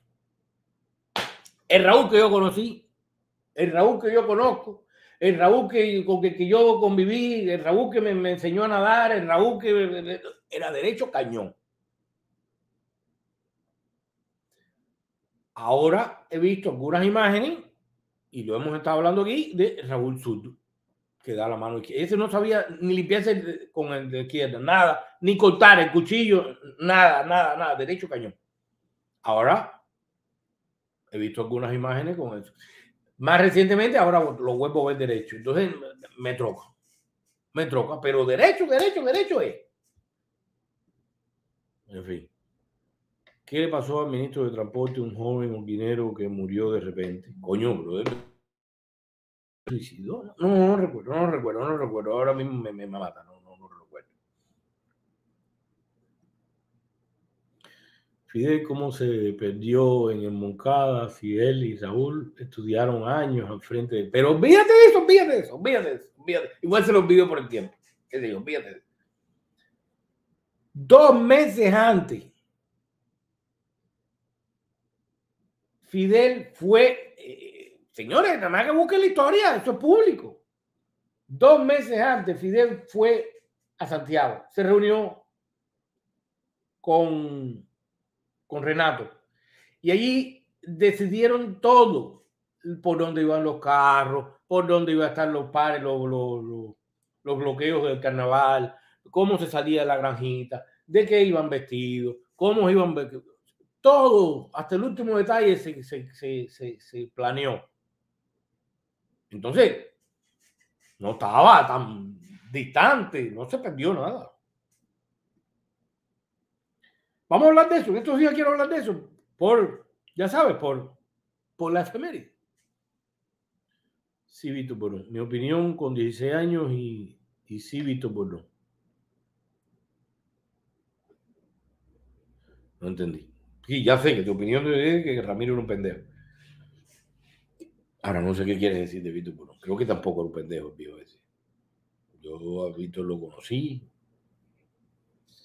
Y, y aunque sé todo el tema de, de Santa Clara, cuando Che y el segundo frente oriental, el segundo frente del Escambray lo cogieron y que parece que toda esa mi historia me la sé. Pero yo no creo que haya sido un pendejo. No creo no creo. Yo sé toda la historia del de, Cambrai, yo sé todo eso. Podemos hablar de eso un día. JJ, te mandé un mensaje por Messenger a ver si conoces al abusador ese sabor. Sabores, ese sabor. Ok, Juana, eh, ¿me lo mandaste por WhatsApp o por, por Messenger? Por Messenger de Facebook. Lo voy a buscar después. Eh, machete dale, Juanelo, que le diste a la sin hueso en la costura. Sí, la verdad, hoy se me, se me fue el tren. Te mandé 9.99 por la bambina que no puedo ir a comer en estos tiempos. ¿Cómo? No te preocupes, chica, yo te la mando. No sé de qué me estás hablando, voy a buscar todo, pero te, la mando. Bordón, un hijo de puta. Y el nieto lo metieron preso.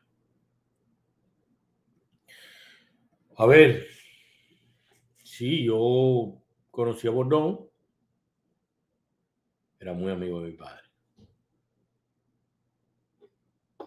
Un tipo que vivía bastante austero, ¿eh?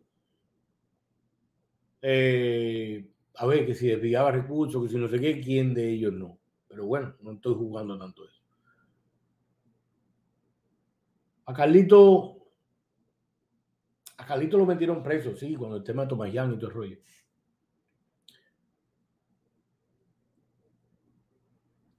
Carlito es mi amigo. Pero.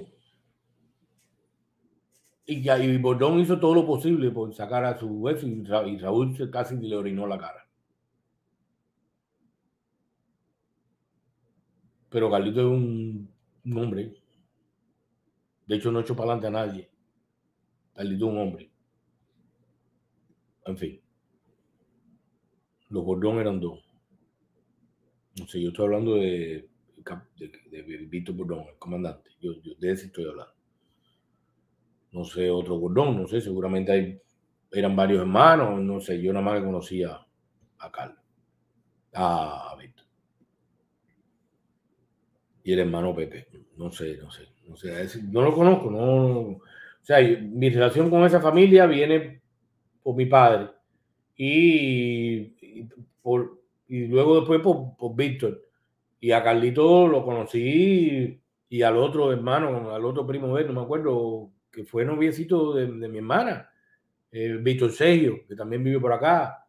Eh, también lo vi. No he tenido relaciones como con Carlito, pero lo conozco. Eh, con Carlito sí, con Carlito. Hermano, bendiciones. El tren de Santa Clara estaba comprado también. Sí, eso sí, claro, yo sé. y se compró aquí en Miami. Eh, la cabilla compró la bambina. Se la vendía a la cabilla. Ah, perdida. Él estaba preparada, inclusive dio la orden de empezar a... sí, yo sé, yo sé. vamos a hablar de eso. En estos días, en torno de la... De la de la, de la efeméride de- del 26 de julio, vamos a hablar de eso. Así que, bueno, por fin, señores, ya que miren ya la hora que es y, y déjame ver si este me invitó al, al asado ese para, para largarme para allá. Así que nada, los dejo. Si pueden, ya saben, escríbame y, y les vendo el libro. Se lo llevo, se lo envío, lo que sea. Chao. Moderna Dental está ubicado en el sur de la Florida con tres ubicaciones, todas equipadas con la última tecnología y los doctores más calificados. Si usted le interesa nueva dentadura, puede llamarnos hoy porque tenemos una promoción inicial de solamente 999 dólares. Pero si ya usted tiene su dentadura y no está contenta, tráiganos acá su dentadura y le damos un crédito por ella. Si usted cuenta con seguro dental, la visita, el examen de rayos X y la limpieza es libre de costo. Ya sabes, llámanos hoy o nos puede enviar un mensaje directo de Instagram a nuestra plataforma digital Moderna Dental. Los esperamos.